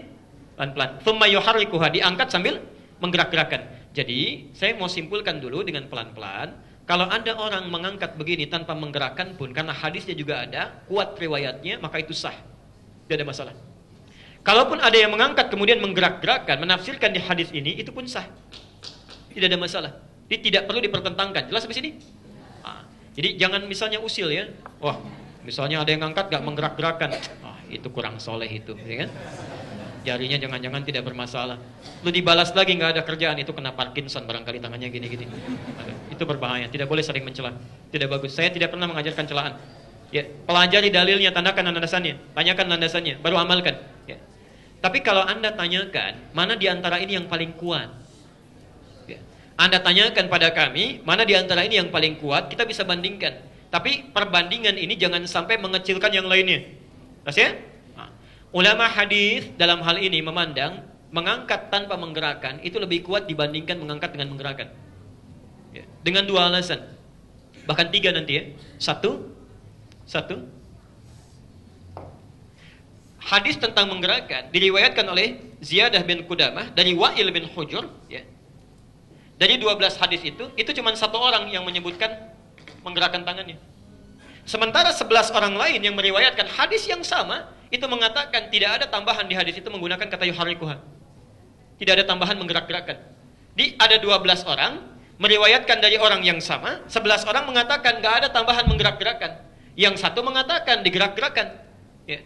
Jadi kalau sebelas berbanding dengan satu, kira-kira yang lebih kuat yang mana? Ah, maka dari itu kata para ulama, jika ada satu riwayat bertentangan dengan banyak yang fikah, maka yang ini ditinggalkan. Ditinggalkan itu maksudnya dianggap lemah dibanding dengan yang ini. Ya. Di antaranya ada Sufyan Ats-Tsauri yang sebelas itu. Ya. Ada Sufyan Ibnu Uyainah, ya. ada Zuhair, ada Salam bin Sulaim, macam-macam. Jadi ada sekitar ada Bishr bin Al-Mufaddal, ada 15 orang, ada 11 orang, maaf. Dan semuanya ahli hadis. Semuanya ahli hadis. Ini dari segi sanad. Sanad. Tapi kalau Anda berbicara hadisnya sahih atau tidak, hadisnya sahih. Ya, sahih. Cuma bertentangan dengan 11 yang sahih lagi dari satu jalur yang sama. Nanti kita tafsirkan di akhir. Yang kedua, kalimat yuharnikuha, yuharnikuha dalam bahasa Arab itu memiliki dua makna. Memiliki dua makna. Pelan-pelan sini. Jadi kalau Anda menemukan kalimat bertasydid, misal ini ya, ini ha, ini ra, ada tasdidnya, ini kaf, ini ha. Lihat rumusnya ya. U, A, I, U, A. Ya, ada tasdidnya di sini. Yuharrikuha, yuharriku, ya, yuharriku u a i a. Pelan-pelan. Makna yang pertama itu artinya bergerak tanpa henti. Ya, banyak gerakan yang banyak. Yang kedua, bisa berarti bisa berarti mengangkat eh, menggerakkan dan berhenti. bergerak kemudian berhenti. Bergerak kemudian berhenti. Misal, Mengangkat, kalau dipahami yang pertama, ini menggerak-gerakan ya, dengan banyak tanpa henti begini. Tapi kalau dipahami yang kedua, bergerak, berhenti. Jadi ngangkat, tutup lagi. Jelas ya? Dari mana tahunya makna bergerak kemudian berhenti? Hadis Nabi SAW yang mengajarkan tentang takbir. Takbir. Kalau takbir angkatnya bagaimana? Mengangkat setinggi? Dari mana tahunya? Hadis Al-Bukhari nomor hadis 737. Bisa sejajar dengan telinga. An-Nasai nomor hadis 1101. Nah, bahasa saat bertakbir itu menggunakan kalimat thumma yukabbir, yukabbir. Ya, kaf, ba, ra. Perhatikan kalimatnya. Yukabbiru. Di atas yuharriku. Di bawah yukabbiru. Dan dua-duanya dilakukan dalam sholat yang sama dalam sholat, ya, dalam ibadah yang sama. Lihat sini, ini ada ya, ada harakatnya apa? U. Ini ada ya, harakatnya apa? U. Baik ya, perhatikan sini. Ini huruf H, harakatnya apa? A. Ini kaf, harakatnya apa? A. Ini ra, ada tasdid yang harakatnya I. Ini ba, ada tasdid yang harakatnya I. Ini terakhir harakatnya U. Ini pun U. Berarti sama rumusnya ya? Ah. Ditanya oleh ulama hadis, kenapa anda saat membaca takbir menggunakan kalimat yukabir, tapi takbirnya nggak berulang-ulang? Nggak ada yang begini. Cuma begini, Allahu Akbar selesai. Tidak pernah ditemukan orang sholat misalnya Allahu Akbar nggak ada. Ya, jadi begitu angkat Allahu Akbar. Kenapa anda saat ini ini pertanyaan ya? Jadi kita juga tidak boleh mengecilkan. Kenapa anda saat bertakbir menafsirkan dengan makna yang kedua jadi Allahu Akbar sekali angkat tutup. Tapi ketika tahiyat Anda menafsirkan dengan mana pertama, menggerak-gerakan. Ya. Nah ini dalam satu amalan ada dua kalimat yang rumusnya sama, tapi kenapa bisa beda menggunakannya? Ya. Kalaupun dijawab bolehlah tidak apa-apa karena Nabi menunjukkan itu. Sekarang kalimat sholat itu selalu selalu jelas dalilnya, jelas contohnya. Saking jelasnya Nabi mengatakan, "Sallu kama ra'aitumuni." Dari mana taunya? Al-Bukhari nomor hadis 631. Baik. Perhatikan, kata Nabi, sholatlah anda persis seperti melihat saya sholat. Berarti ketika Nabi sholat ada yang lihat kan? Ada yang lihat. Nah, melihatnya seseorang, melihatnya seseorang kepada Nabi, itu mesti melihat contoh yang jelas, gerakan yang jelas, tidak ada keraguan di dalamnya, tidak membingungkan.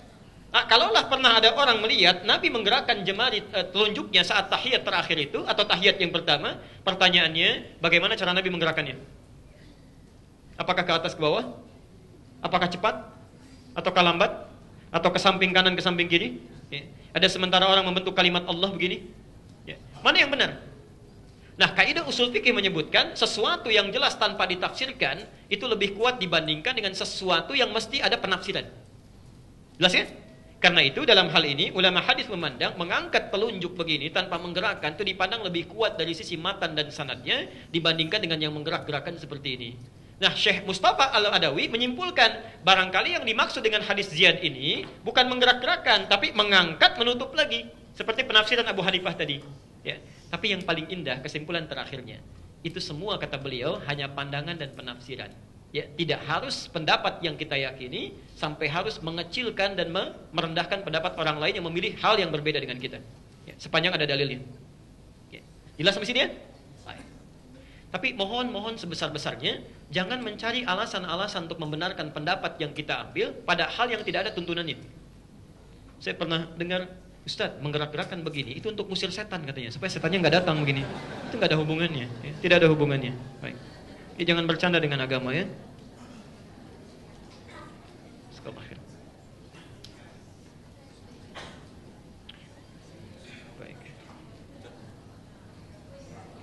Jazakallah khair. Alhamdulillah.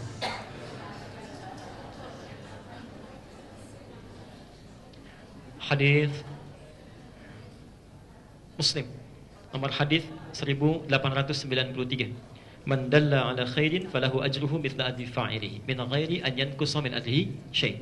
Siapa yang memfasilitasi satu kebaikan, melakukan kebaikan bahkan cuma nunjukkan saja, itu dapat pahala orang yang mengerjakannya tanpa dikurangi sedikit pun. Masya Allah. Ya, Masya Allah. Jadi kalau tadi ada yang menghapus, kemudian saya menulis setiap hurufnya dapat itu yang menghapus itu ya, walaupun cuma menghapus. Waalaikumsalam wabarakatuh. Ustaz dalam eh, sebuah kajian Ustaz mengatakan bahwa membaca doa iftitah atau istiftah sebaiknya dalam setiap salat dibaca bergantian dengan tujuan untuk menghidupkan sunnah dua Rasulullah. Bagaimana tanggapan Ustaz Zakallah khair? Baik. Misalnya salat fajar gunakan satu doa iftitah, lalu salat subuh doa lainnya demikian. Di ada seorang ustaz, bukan kami yang menyampaikan, ada seorang ustaz mengatakan hendaknya bisa dilakukan bergantian untuk menghidupkan dua sunnah Rasulullah. Ada dua belas sunnah. Kan doa iftitah itu bukan cuma dua, tapi dua belas. Dua belas. Jadi kalau mau bergantian gunakan yang dua belas itu. Kalau mau gunakan cara berpikirnya ingin menghidupkan sunnah Nabi. Maka kalau Anda ingin hidupkan dua belas dua belas ya dibaca. Nah, Cara yang mudah untuk memahaminya bukan bergantian, tapi cara yang paling mudah, kenapa Nabi memberikan sampai 12 doa itu, kapan beliau membacanya? Begitu cara cara membacanya ya, cara cara mengartikannya. Di, Nabi pakai wajah tuh di malam hari. Saat Anda ingin hidupkan sunnah Nabi, saat tahajud, ya baca yang wajah tuh. Saat sholat dari mulai fajar sampai isya, baca Allah ba'id. Kalau Anda mendapatkan situasi yang bersegera, ya ditunggu oleh kendaraan misalnya macam-macam, ya baca yang paling pendek. Bahkan dalam keadaan Anda saking tenangnya pun silahkan baca kumpulkan 12 doanya itu boleh. Ya. Misal malam ini saya mau sholat tahajud ingin baca ke-12 doa iftitahnya silahkan saja. Ya, silahkan saja tidak ada masalah di situ. Ya. Tapi Nabi tidak pernah mengerjakannya paling dua. Ya. Bagaimana cara kita bertobat jika kita pernah mendolimi orang? Ya. Bukan kita barangkali ini yang nulis ya. Oh, jadi kadang-kadang lisan lisan orang itu suka berbeda. Kalau kita lihat pengamat kan suka menyampaikan, kita ini orang Indonesia memang bodoh katanya. Eh kalau anda mau bodoh jangan bawa-bawa kita. Anda aja yang bodoh gitu ya. Ya orang lain jangan diajak.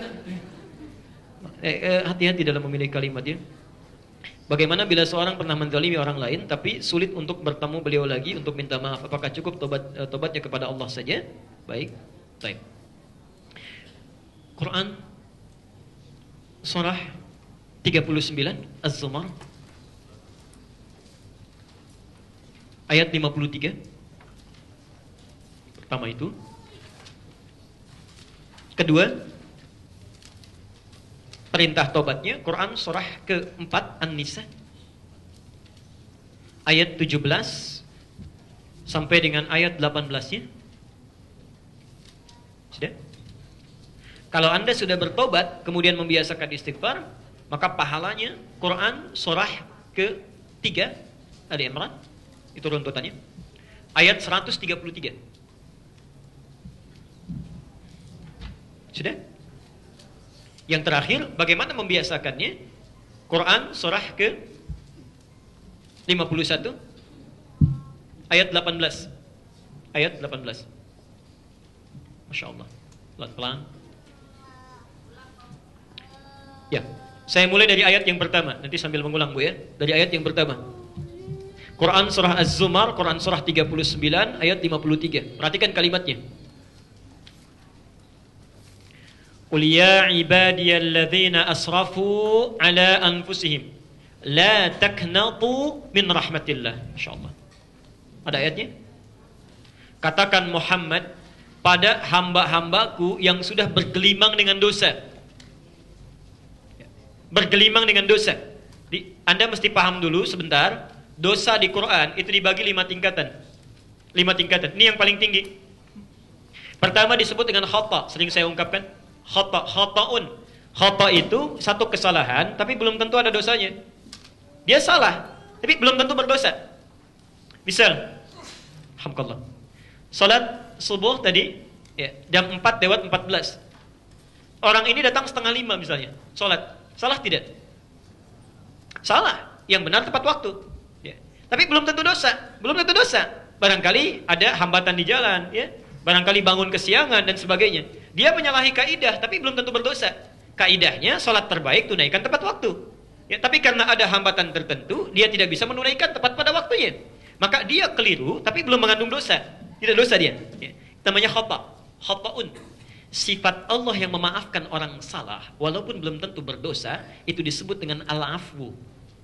Al-afwu. Al-afwu ya.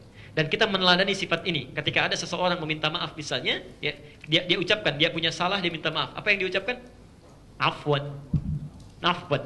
Al-afwu. Orang Maroko mengatakan al-afwu, ya. Maksudnya mohon maafkan saya walaupun belum tentu ada dosanya. Tolong, ya. Orang ini mengatakan labas, ya nggak apa-apa, jangan dipikirkan. Jelas sampai sini? Yang kedua, ada orang memiliki kesalahan, mengandung dosa, tapi dosanya belum banyak. Ya, belum banyak. Misal, adzan subuh jam 4 lewat 14, orang sudah pada sholat, dia olahraga dulu misalnya. Sengaja mengabaikan sholat, mau olahraga dulu. Ya, salah tidak? Dosa tidak? Dosa. Ya, dosa yang seperti ini naik, ningkat dari khata, khata'un, menjadi zambun. Zambun. Ini Allah memiliki sifat al-afu, afu. Yang ini saking sayangnya Allah kalau dia mau tobat diberikan ampunan oleh Allah, diampuni. Sifat Allah yang mengampuni orang punya dosa walaupun belum banyak, misalnya dalam tanda petik disebut dengan ghafir. Da Quran surah Ghafir Al-Mu'min, surah Quran surah ke-40 ayat 3 itu, ya. Ghafir dipasangkan dengan zambun. Ghafiriz dzambi wa qabilit taubi. Allah punya sifat ghafir, menerima tobat orang yang punya dosa ini zambun. Ya. Jelas ya? Baik. Teruskan. Uh, sudah dia nggak sholat misalnya, pergi dulu olahraga, ngajak orang lain lagi. Yuk, jangan terlalu soleh, nanti kan juga masih ada waktunya, olahraga dulu aja. Misal. Ya. Salah tidak? Dosa tidak? Dosa, naik lagi dosanya. Naik lagi. Zunubun. Zunubun. Masya Allah. Pada yang seperti ini pun Allah sangat sayang kalau kamu mau tobat sekalian berdua tobat sini. Maka diturunkan sifat yang ketiga namanya ghaffar. Quran surat Nuh ayat yang ke-10 itu. Fakul tustaghfiru rabbakum innahu kana ghaffara. Bukan ghafira. Ghaffar. Ini menunjukkan umat Nabi Nuh ini meminta umatnya yang sudah dosanya mulai banyak, nih mulai berkumpul. Ya. Mulai mencela Nabi Nuh, mulai mengolok-olok dan macam-macam. Kata Nabi Nuh, eh dosa kalian sudah agak banyak, jangan ditumpuk lagi, cepat sekarang tobat. Allah menerima tobat kalian. Dia punya sifat ghafar. Yang keempat, sudah nggak sholat, ngajak orang nggak sholat dan mengolok-olok orang yang sholat. Dia ajak orang lain, yuk gak usah sholat lah. Memang orang-orang itu tuh pengen cari perhatian saja. Uh, jam segini sudah berangkat ke masjid, misal. Ya. Salah tidak? Dosa tidak? Dan dosanya please disebut dzunubun ma'avulmi. Please. Dzunubun ma'avulmi. Please. Al-Baqarah ayat 114.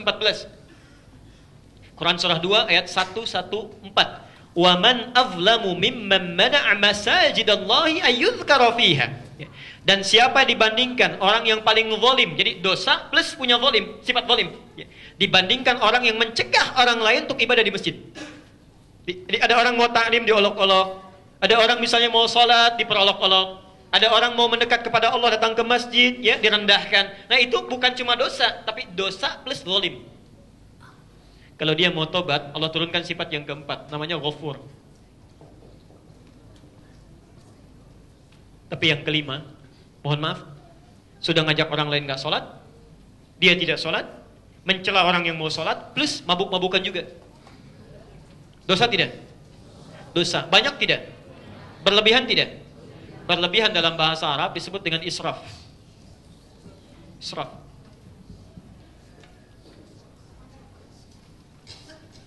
Di, ada orang yang dosanya sudah nggak terlukiskan. Banyak sekali. Dia pernah mabuk, pernah mukul orang, juga pernah bunuh orang, bisa macam-macam dan sebagainya. Ya. Satu kali dia mau tobat. Itu Masya Allah. Saking sayangnya Allah pada hambanya, selama dia nafasnya belum sampai ke kerongkongan, itu Allah masih terima tobatnya. Diturunkan sifat yang kelima, namanya Rahim. Sifatnya disebut dengan rahmat. Dan hebatnya, Masya Allah, masih dipanggil hamba, masih diaku. Ya. Perhatikan kalimatnya. Kuliah ibadi. Katakan Muhammad, hei hamba-hambaku. Ada orang soleh dipanggil hamba. Bapak ibu tahu nggak kalau panggilan hamba itu, ya ibad itu, itu jamak dari kata abdun. Abdun itu, itu panggilan yang tertinggi, lebih tinggi dibandingkan rasul. Ya. Jadi kalau ada gelar melekat pada seseorang, diberikan wahyu, itu nabi untuk dirinya sendiri. Bila menyampaikan pada orang lain disebut dengan rasul. Tapi ada gelar lebih tinggi dibandingkan dengan nabi dan rasul, itu abdun namanya. Abdun. Ya. Karena itu Rasulullah SAW ketika beliau akan diangkat menerima perintah salat, melakukan Isra dan Mi'raj, itu tidak dipanggil dengan nama Rasul, tidak disebut dengan nama Nabi, tapi panggilannya menggunakan Abdun. Quran surah 17 ayat yang pertama itu. Subhanalladzi asra bi abdihi, bukan bi rasulihi, bukan bi nabihi. Padahal ayat lain bisa mengatakan, Ya ayuhan nabi, kulli azwajika wa banatika wa nisa'il mu'minin, Ya ayuhan rasul. Masya Allah, semuanya nabi, rasul. Tapi ketika akan Isra Mi'raj, kamu akan diangkat dengan anugerah tingkat tinggi. Yang luar biasa, yang hebat. Kalimat-kalimat yang kurang di bawah itu tidak layak engkau sandang. Gunakan langsung kalimat tertinggi, abdun. Jamaknya ibadun. Ibadun. Karena itu ketika Allah meminta kita berdoa, sifat yang diminta, itu bukan rasul, bukan nabi, bukan. Tapi ibad ibad. Quran surah 2 ayat 186. Wa idza sa'alaka ibadi. Allah, ada orang dosa, dosanya sudah berlumur luar biasa, berlumpur menghitam. Dia mau tobat, oleh Allah masih dipanggil hamba. Hambaku, sini. Kau datang dengan merangkak, saya berjalan. Engkau berjalan, saya berlari. Saya mau tanya sebentar. Yuk kita bandingkan ya. Bapak ibu punya anak, nakal luar biasa memporak-porandakan kehormatan rumah tangganya, ya, mencerai beraikan ayah ayah bundanya, menghancurkan martabat keluarga dan sebagainya. Ah, luar biasa lah, ya, kekacauannya luar biasa. Satu kali pergi dari rumah, ya, kemudian datang lagi ke rumah untuk minta maaf. Sudah menghancurkan nama keluarga, menjelek-jelekan kedua orang tua, buruknya luar biasa. Tiba-tiba satu masa datang ke rumah untuk minta maaf, diterima tidak? Diterima tidak? Diterimanya dengan penuh senyuman atau cemberut dulu? Ngapain kamu ke sini? Kamu bukan anak saya. Oh, bukan anak saya. Lantas anak siapa? Ya. Udah marah duluan tuh. Allah tidak. Makanya ada beda antara khalik dengan makhluk. Allah tidak. Kuliah ibadi. Hei hambaku sini. La taqnatum kuliah ibadi alladzina asrafu. Katakan Muhammad, hei hambaku yang sudah israf banyak dosanya ini. Ya. La taqnatu min rahmatillah. Kamu jangan putus asa dari rahmat Allah. Kesalahan apa sih yang mau kerjakan? Sini. Sebelum meninggal saya ampuni. Sebelum meninggal saya ampuni. Masya Allah. Bayangkan ya, kalau Anda sudah ditawarkan lima keadaan ini, kecil dimaafkan, dosa menengah sampai banyak, sampai tak terhitung, mau dimaafkan juga, masih mau diampuni. Masih mau diampuni. Ya. Masya Allah. Dan sudah ditawarkan ini, nggak mau minta ampun juga, dengan cara apa lagi Allah mesti mengampuni? Bertakwalah ketika Anda punya keinginan untuk bertobat, itu itu yang terbaik di antara seorang hamba. Yang terbaik di antara seorang hamba. Di ketika Anda menuliskan pertanyaan disampaikan bagaimana cara mesti tobat, kasih sayang Allah sudah diturunkan. Dan Anda jangan lepaskan itu, jangan lepaskan itu. Ya. Karena itulah kalau ini sudah disampaikan, lima hal ini dirangkum di Al-Baqarah ayat 286. Quran surah 2 ayat 286. Kita hafal. La yukallifullahu nafsan illa Allah tidak akan mungkin memberikan beban kehidupan kecuali kita mampu. Pasti mampu itu. Bapak Ibu jangan menangis kalau punya masalah karena tidak dititipkan pada kita kecuali kita mampu. Jadi kalau kita nggak mampu nggak akan dikasih. Jadi jangan mengeluh. Ya, Allah kenapa mesti saya? Karena kamu yang mampu. Yang lain tidak. Why me? Why not? Ya. Kenapa saya? Why not? Kenapa tidak? Kamu yang bisa, yang lain tidak. Maka berbahagialah, berbahagialah. Ya. Karena nggak mungkin dikasih sesuatu kecuali kita mampu. Tapi kadang-kadang ketika diperintahkan itu ada yang merespon dengan cepat dapat pahala. Lahama kasabat. Tapi ada yang menghindari itu. Ya, menghindar dari itu wa alaiha kasabat. Salah dia. Dipanggil azan Allahu Akbar Allahu Akbar. Merespon cepat. Salat. Lahama kasabat. Lari olahraga nggak didengarin suara suara panggilan azan. Wa alaiha maktasabat. Dapat dosa dia. Nah, dosa yang didapatkan itu kemungkinan pertama Rabbana la tu'akhidna in au khata Rabbana wa la tahmil alaina isran kama hamaltahu Dhanbun, dhunubun, dhunubun ma'a dhulmi Tiga sekaligus Rabbana wa la tuhammilna Israf Israf Khata pasangannya apa? Al-afu Teruskan ayatnya Wa'fu Anna Ini yang tiga pasangannya Ghafir, ghafar dengan ghafur Kalimat permintaannya ighfir Waghfir lana Israf pasangannya apa? Rahim. Kalimat permintaannya warhamna. Anta maulana. Ya Allah, kalau bukan engkau yang mengampuni, lantas kepada siapa lagi hamba mesti minta ampun? Pada siapa lagi? Karena itu, kalau sudah diturunkan tawarannya, Anda cepat respon. Bagaimana cara meresponnya? An-Nisa ayat 17 sampai 18. Saya percepat dulu.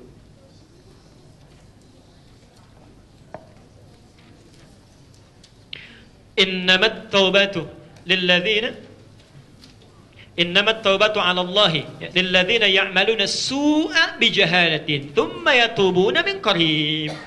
Ada ayatnya? Baik. Sebelah kanan posisi di bawah. Innamat taubatu 'ala Allah lilladzina ya'maluna su'a bijahalatin thumma yatubuna min qarib. Ada? Ya. Sungguh tobat yang akan diterima oleh Allah adalah tobat dari seseorang yang pernah melakukan satu kesalahan. Ya. Dia pernah salah, ya. dia pernah salah. Ya. Yang paling penting gini. min qarib. Kemudian dia terpikir untuk segera bertobat. Segera bertobat. Ya. Masya Allah. Jadi ini menarik ini. Biasanya kalau sudah pakai thumma, nggak ada pakai qarib. Ini, ini agak unik ayatnya ini. Agak unik. Karena manusianya juga unik.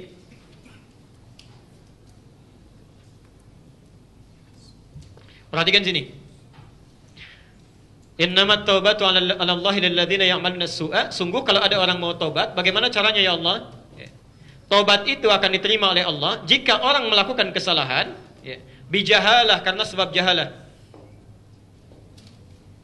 Jadi kalau bukan jahalah, nggak akan diterima. Apa itu jahalah? Maknanya dua. Ya. Maaf, satu, jahalah itu dari kata jahlun, artinya tidak tahu, bodoh. Nggak tahu itu salah, dikerjakan. Misal, dia nggak tahu daging babi haram misalnya, dimakan. Dia makan daging babi misalnya, ya. Dia nggak tahu. Setelah dia tahu keharamannya, dia bertobat misalnya. Dia bertobat. Nah, itu yang disebut dengan jahalah. Melakukan perbuatan salah tapi karena tidak tahu hukum. Baik. Yang kedua, jahalah itu berarti sudah tahu salah dikerjakan juga. Ya, misal, maaf, eh, bohong salah tidak? Dosa tidak? Tuh, sudah tahu dosa, kok masih bohong juga? Gosip salah tidak? Dosa tidak? Yang kencang jawabnya, dosa tidak? Ah, sudah tahu dosa, kok masih ditonton juga? Ya kan? Hati-hati. Nah, itu sudah tahu salah dipegang juga. Ya, sudah tahu salah dikerjakan juga. Di, ada air panas, sudah tahu panas dipegang juga.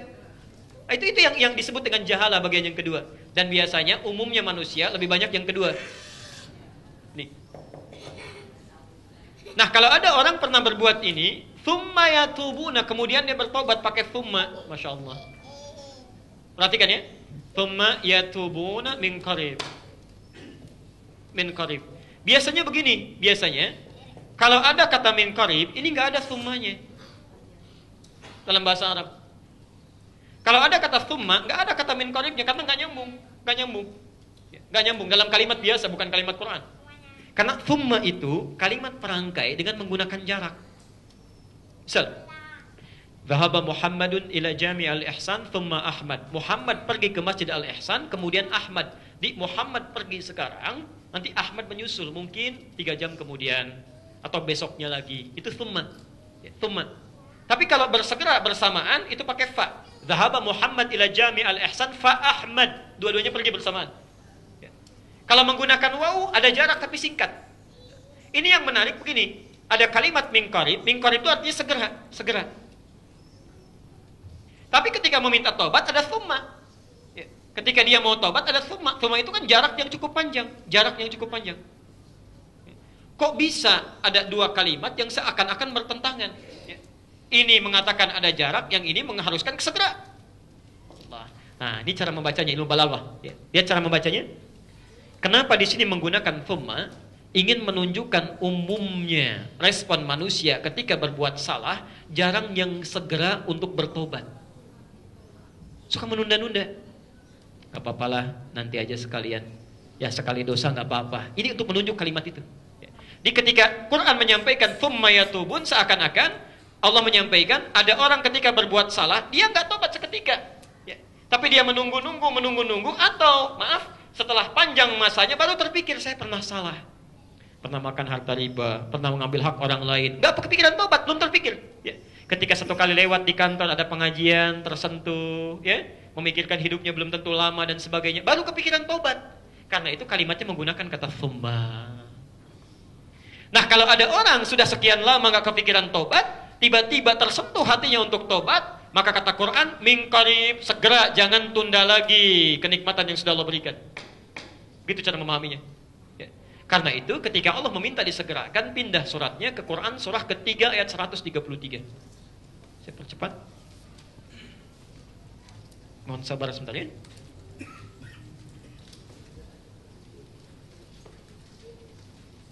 Pelan-pelan. Wasari'u ila maghfirati min rabbikum wa jannatin as-samawati wal ardu 'iddat lil muttaqin. Allah. Ya. Kita mau berakhir, perhatikan kalimatnya. Wasari'u dan bersegeralah kalian ila maghfiratin untuk mendapatkan ampunan dari Allah segera tobat ya. jadi kalau anda sudah terpikir mau tobat jangan tunda-tunda itu Allah sedang berikan kasih sayang ya. Masya Allah hati-hati barangkali mungkin kita tidak tahu tiga hari lagi mau meninggal dua hari lagi mau meninggal Tiba-tiba Allah masih berikan petunjuk Anda lewat, diajak oleh teman, yuk ikut taklim dulu, disampaikan. Begitu dengar kalimat tobat, terfikir. Itu kasih sayang yang Allah berikan, cepat ambil. Segerakan. Di ada sara'ah, Perhatikan ya. Ada sarah, ada sa'ah itu lain. Ya. Coba lihat cek yang kalau Anda salat Jumat itu ya, kan ada ayat di Quran, Quran surah ke-62 ayat 9 itu, ya ayyuhalladzina amanu idza nudiya lis-salati min yaumil jum'ah fas fas'au ila Baik, fas'au di situ artinya apa? Dan bersegeralah. Kenapa kok bisa ada kata bertobat menggunakan kata sara'ah, wasari'u artinya bersegera, tapi saat sholat Jumat kalimatnya menggunakan fas'au, diartikan bersegera. Kok bisa dua kalimat punya arti yang sama? Hati-hati. Kalau Anda mendapatkan kalimat fas'au bersegera, itu artinya bersegera dengan siap-siap. Ya, dimandi dulu, pakai minyak wangi dulu, siap-siap baru berangkat, datang di awal waktu. Ya. Makanya ibu saya mohon Bu ya, saya mohon sebesar-besarnya, ini jarang sekali banyak dilakukan oleh keluarga muslim saat ini. Kalau sudah tiba waktu Jumat, Bapak tuh ingatkan Bu, siapkan pakaiannya, minyak wanginya, saat berangkat ibu SMS, Titipkan Pak doa yang paling mustajab di antara dua khutbah. Mohonkan untuk keluarga kita, untuk anak-anak kita dan sebagainya. Itu luar biasa. Luar biasa. Tapi siapkan perangkatnya, itu bahasa Qurannya fas'au, siapkan dulu, perbaiki dulu penampilannya. Dan Masya Allah, tapi kalau meminta kita tobat, itu kalimat fas'au dihilangkan, diganti dengan wasari'u. Sari'u itu dari kata sara'a, artinya bersegera, jangan diundur-undur walaupun cuma berpikir. Ada orang salah siang hari, pengen tobat diundur, nanti ajalah malam sekalian tobatnya. Anda belum tentu hidup sampai malam hari. Begitu sore meninggal. Ya. Bisa terjadi. Karena itu, afwan, ketika Anda terpikir untuk bertobat, segerakan saat itu tobat. Segerakan. Ya. Kapan waktu yang terbaik? Saat merasakan kesalahan, tiba keinginan tobat, segerakan pada saat itu. Apa yang dilakukan? Tiga hal. Tiga hal. Satu, mengakui kesalahan. Mengakui kesalahan langsung pada Allah ya, bukan pada orang. Ya. Dia bukan datang pada seorang, saya kan, seorang kiai, seorang siapa pun, saya pernah salah begini, begini, begini, saya tobat. Bukan, mengakui pada Allah. Ya. Dan nggak perlu bayar. Karena ada orang mengakui dosanya dan bayar gitu ya. Nah, itu tidak tidak tepat. Ya. Tidak perlu bayar. Jelas? Akui kesalahan. Yang kedua, sesali kesalahan itu. Sesali. Tangisi, tangisi gitu ya di, begitu tobat pertama Anda coba menangis. Gak bisa menangis, besoknya tobat lagi menangis. Gak bisa menangis juga hari ketiga, berusaha menangis lagi. Hari keempat belum belum bisa nangis juga, ah, nangis lagi terus. Hari kelima belum bisa juga, tangisi diri Anda yang belum bisa menangis terus. Terus, terus. Sampai bisa kita menikmati apa yang kita mohonkan pada Allah. Yang terakhir, yang ketiga, berjanji tidak mengulangi, berjanji tidak mengulangi, dan memperbaiki dengan memperbanyak amal soleh. Berjanji tidak mengulangi dan memperbaiki dengan memperbanyak amal soleh.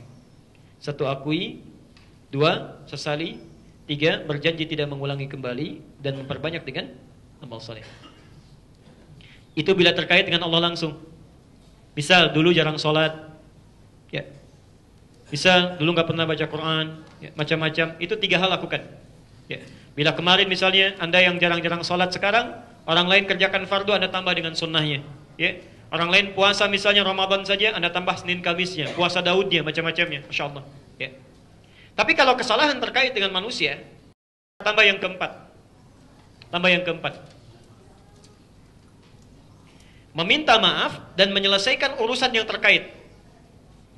Meminta maaf dan menyelesaikan urusan yang terkait. Hati-hati ya, Bapak Ibu hati-hati, hati-hati. Terutama ibu bu ya, terutama ibu. Saya beri contoh begini. Ada seorang berbuat salah. Ya. Pada orang lain, misal mencela misalnya, mencela. Sebetulnya ketika dia mencela si A, sepanjang dia mau minta maaf, itu Allah sudah tutup itu. Ditutup oleh Allah, tidak disebarkan. Ya. Di urusannya antara orang itu dengan orang yang berbuat salah saja. Ya. Jadi kalau orang yang mencela ini mau minta maaf, sepanjang dia tidak menyebarkan, itu akan ditutup oleh Allah. Ya. Sampai dia minta maaf. Tapi yang jadi masalah kadang-kadang, mohon maaf, sudah tahu salah, disebarkan juga kesalahannya. Disebarkan juga. Misal, ada seorang mencela si A, lalu mencelanya nggak tanggung-tanggung, dicela misalnya di media sosial. Ya. Masya Allah, ke ke kelihatannya seperti orang baik, ternyata dia itu tidak seperti yang digambarkan banyak orang. Misal, orang penasaran siapa sih? Terus sudah panggil orang. Ya. Sebutkan ciri-cirinya, sebutkan begini begitu, itu tersebar sedunia. Yang jadi masalah, Ketika si fulan ini orang baik misalnya, orangnya baik, ya, cepat memaafkan, sebelum diminta pun sudah dimaafkan. Urusan dia memaafkan selesai dengan Allah. Tapi urusan yang mencela kalau belum minta maaf itu belum selesai dengan Allah. Belum selesai. Yang jadi masalah ketika si fulan memaafkannya, selesai masalah dengan si fulan. Misal, si A punya salah dengan si B. Ya. Si A menyebarkan, lalu satu masa si A minta maaf kepada si B. Nah, kalau diterima pemaafannya itu, Dosa si A kepada si B dihapuskan, tapi si A yang telah menyebarkan informasi itu tetap menanggung dosa dari itu. Sepanjang dia tidak meralatnya. Dan biasanya kalau salah sudah menyebar, itu tidak mudah untuk meralatnya itu. Tidak mudah. Makanya jangan sampai mudah sekali kita, maaf ya, maaf sebelumnya, jangan sampai mudah menyebarkan sesuatu yang belum jelas. Bahkan, kalaupun itu terkait dengan kesalahan. Ya. Jelas sampai sini? Baik. Nah, adapun masalah yang terkait seperti utang piutang dan sebagainya, itu mesti diselesaikan dulu. Ya.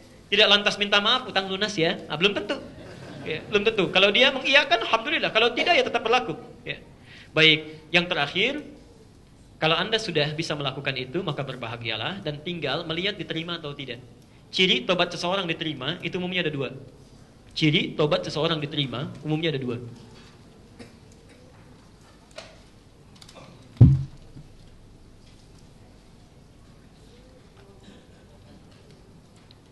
Baik. Satu, merasa tidak suka, merasa tidak suka dengan berbagai maksiat dan kesalahan, khususnya yang pernah dilakukan. Ya, dengan berbagai maksiat dan kesalahan, khususnya yang pernah dilakukan. Misal, ada seseorang pernah bergibah, dia bertobat dari gibah. Maka ciri tobatnya diterima. Setiap dia mendengar, melihat, menyaksikan sesuatu yang terkait dengan gibah, dia nggak akan suka. Begitu pulang ke rumah, misalnya, pagi-pagi acara TV sudah gibah, dia nggak akan suka, dia akan pindahkan pada channel lain. Ya. Radio misalnya sudah berbicara tentang gibah, dia akan pindahkan pada yang lain. Melihat orang kumpul-kumpul begitu bergabung, kok judulnya pengajian tapi membicarakan orang lain, dia akan menghindar dari situ. Alhamdulillah, itu salah satunya, salah satunya. Bahkan sebagian orang lebih melakukan kebaikan. Wah ini isinya televisi nggak baik semua nih, nggak bagus misalnya ya. Ada acara yang tidak bagus, mengajak pada keburukan, dia akan ganti, cari yang lebih bagus. Ya. Cari program yang lain, lebih banyak mendekatkan diri pada Allah. Kalau anda bisa mencari yang baik, kenapa pilih yang jelek? Ya, kenapa pilih yang jelek? Tinggalkan aja tinggalkan, selesaikan. Itu caranya. Ya. Di tanda yang pertama, dia tidak akan suka dengan maksiat, khususnya pada yang pernah dikerjakan. Kalau sudah nggak suka dengan aneka maksiat, itu sudah bagus. Ya. Misalnya, ah saya gosip sudah nggak suka. Ya, tapi kumpul-kumpul nggak apa-apa lah misalnya. Ah itu itu tidak tepat. Ya. Nah, dia akan merasakan yang lain tuh nggak enak semua, bohong tidak nikmat, melihat orang jarang ke masjid sudah nggak enak, ya macam-macam. Ah itu tandanya ada kebaikan besar di situ. Ya. Yang kedua, ciri yang paling utama adalah ibadahnya, kebaikannya semakin meningkat. Semakin meningkat. Maka berbahagialah kalau Anda mendapati itu. Ya, semakin meningkat. Tadinya kumpul-kumpul, sekarang mau taklim, Masya Allah. Ya. Orang lain liburan, ambil waktu misalnya yang padat, untuk macam-macam, pergi ke mana-mana, dia mendekat kepada Allah. Itu ada kenikmatan luar biasa. Kenikmatan luar biasa. Ya. Nah, kalau Anda ingin latihan untuk bertobat, cobalah bangun di sepertiga malam, ya, dan mohonkan ampunan kepada Allah. Ya, setelah tahajud, waktunya setelah tahajud beberapa saat menjelang fajar itu paling bagus. Karena Allah dalam dalam hadis kudsi melalui risan Rasulullah SAW menyampaikan dan hadis ini kudsi diriwayatkan orang pertamanya 31 orang sahabat senior. Orang pertamanya. Ditafsir dari ayat Quran surah ke-51 ayat ke-18. Di sini kita berhenti. Wabil ashari hum yastaghfirun. Quran surah Az-Zariyat ayat ke-18 wabil ashari dan di waktu-waktu sahar sahar itu waktu singkat menjelang fajar. Saya sudah pernah jelaskan ya. jadi kalau fajar 4.14 anda jam 4 4 kurang seperempat selesai tahajud jangan ke mana-mana dulu duduk. Perbanyak istighfar perbanyak istighfar. Ya, mohon ampun ingat dosa dan sebagainya macam-macam. Insyaallah. Itu langsung hadis kunci ya, hadisnya kunci yanzilu rabbuna tabaraka wa ta'ala. Allah akan turun ke langit dunia maksudnya membentangkan rahmatnya ya. Kemudian fayaqulu dan menyampaikan tiga hal. Ya ibadi, hei hambaku, siapa yang memohon kepadaku aku akan berikan. Siapa yang meminta aku akan kabulkan dan siapa yang beristighfar kepadaku aku ampuni dosanya. Aku ampuni dosanya. Karena itu mari kita biasakan ya hal-hal yang baik yang diajarkan oleh Rasulullah SAW untuk kita praktekkan dalam kehidupan kita. Tadi Anda sudah mau bertobat, silakan coba tobat ya. Barangkali inilah sayangnya Allah kita dipanggil hari ini saat orang lain punya kesibukan barangkali ada sebagian dari dosa-dosa kita yang ingin dihapuskan oleh Allah Subhanahu wa taala. Dan tidak cukup dengan aminnya, harus kita praktekkan apa yang tadi disampaikan. Uh, adakah sholat tobat? Semua sholat adalah tobat. Jadi sebetulnya tidak ada yang khusus terkait dengan tobat ini karena semua sholat adalah tobat. Dari bacaan sholat dari awal sampai akhir itu sudah tobat, ya, itu sudah tobat. Sekira itu Bapak Ibu sekalian yang dapat kami sampaikan dalam kesempatan di hari ini. Semoga Allah memberikan kebaikan bagi kita semuanya. Ya, dan uh, tadi saya punya janji untuk sedikit saja menyampaikan kisah tentang Bashir. Ya. Saya cukupkan atau mau saya sampaikan? Saya persingkat. Saya punya pengumuman nanti dua, ya. Yang satu untuk kajian, yang kedua nanti untuk anak-anak karena ini di akhir tahun ya yang tahun Masehi dan tidak ada kaitannya dengan kehidupan kita karena semua itu anggap saja hari kita berakhir. Setiap hari ini akhir kehidupan kita, belum tentu esok hidup lagi ya. Baik. Bapak Ibu sekalian, ada yang namanya Bashir. Seorang soleh. Ya, bukan Basit, Bashir. Bashir. Orangnya soleh, baik luar biasa dan senang ikut ta'lim. Ya, senang ikut ta'lim. Satu kali pulang dari ta'lim, ya, beliau jalan di tepian kebun, lewat dari situ. Sudah agak jauh, ya, begitu beliau menyimpan kitabnya di tangannya sambil berjalan begini, tiba-tiba kadar Allah melihat ke sebelah kirinya didapati satu apel yang sedang hanyut. Ya, satu buah apel hanyut. Dan suasana sedang lapar. Ya. Saya mau tanya ya, pelan-pelan. Kalau ada satu buah atau tumbuhan ya, terlepas dari pohonnya, kemudian keluar dari arealnya, itu haknya masih hak pemilik kebun atau hak umum? Dari mana taunya? Cepat sekali jawabnya umum gitu ya. Ayo, kalau ada buah jatuh dari tukang buah tuh, lewat dari situ. Baik. Lihat kaidah utamanya ya, kaidah utamanya. Jangankan keluar areal. Anda punya pohon mangga, misal. Pohon mangganya merambat ke jalan umum atau ke rumah tetangga. Kalau berbuah, itu hak tetangga dan hak umum. Di, jangan marah kalau mangganya diambil tetangga, karena itu bukan hak Anda. Ya, hak orang yang kedapatan buahnya ke sana. Jadi kalau ke jalan diambil sama orang jalan nggak apa-apa.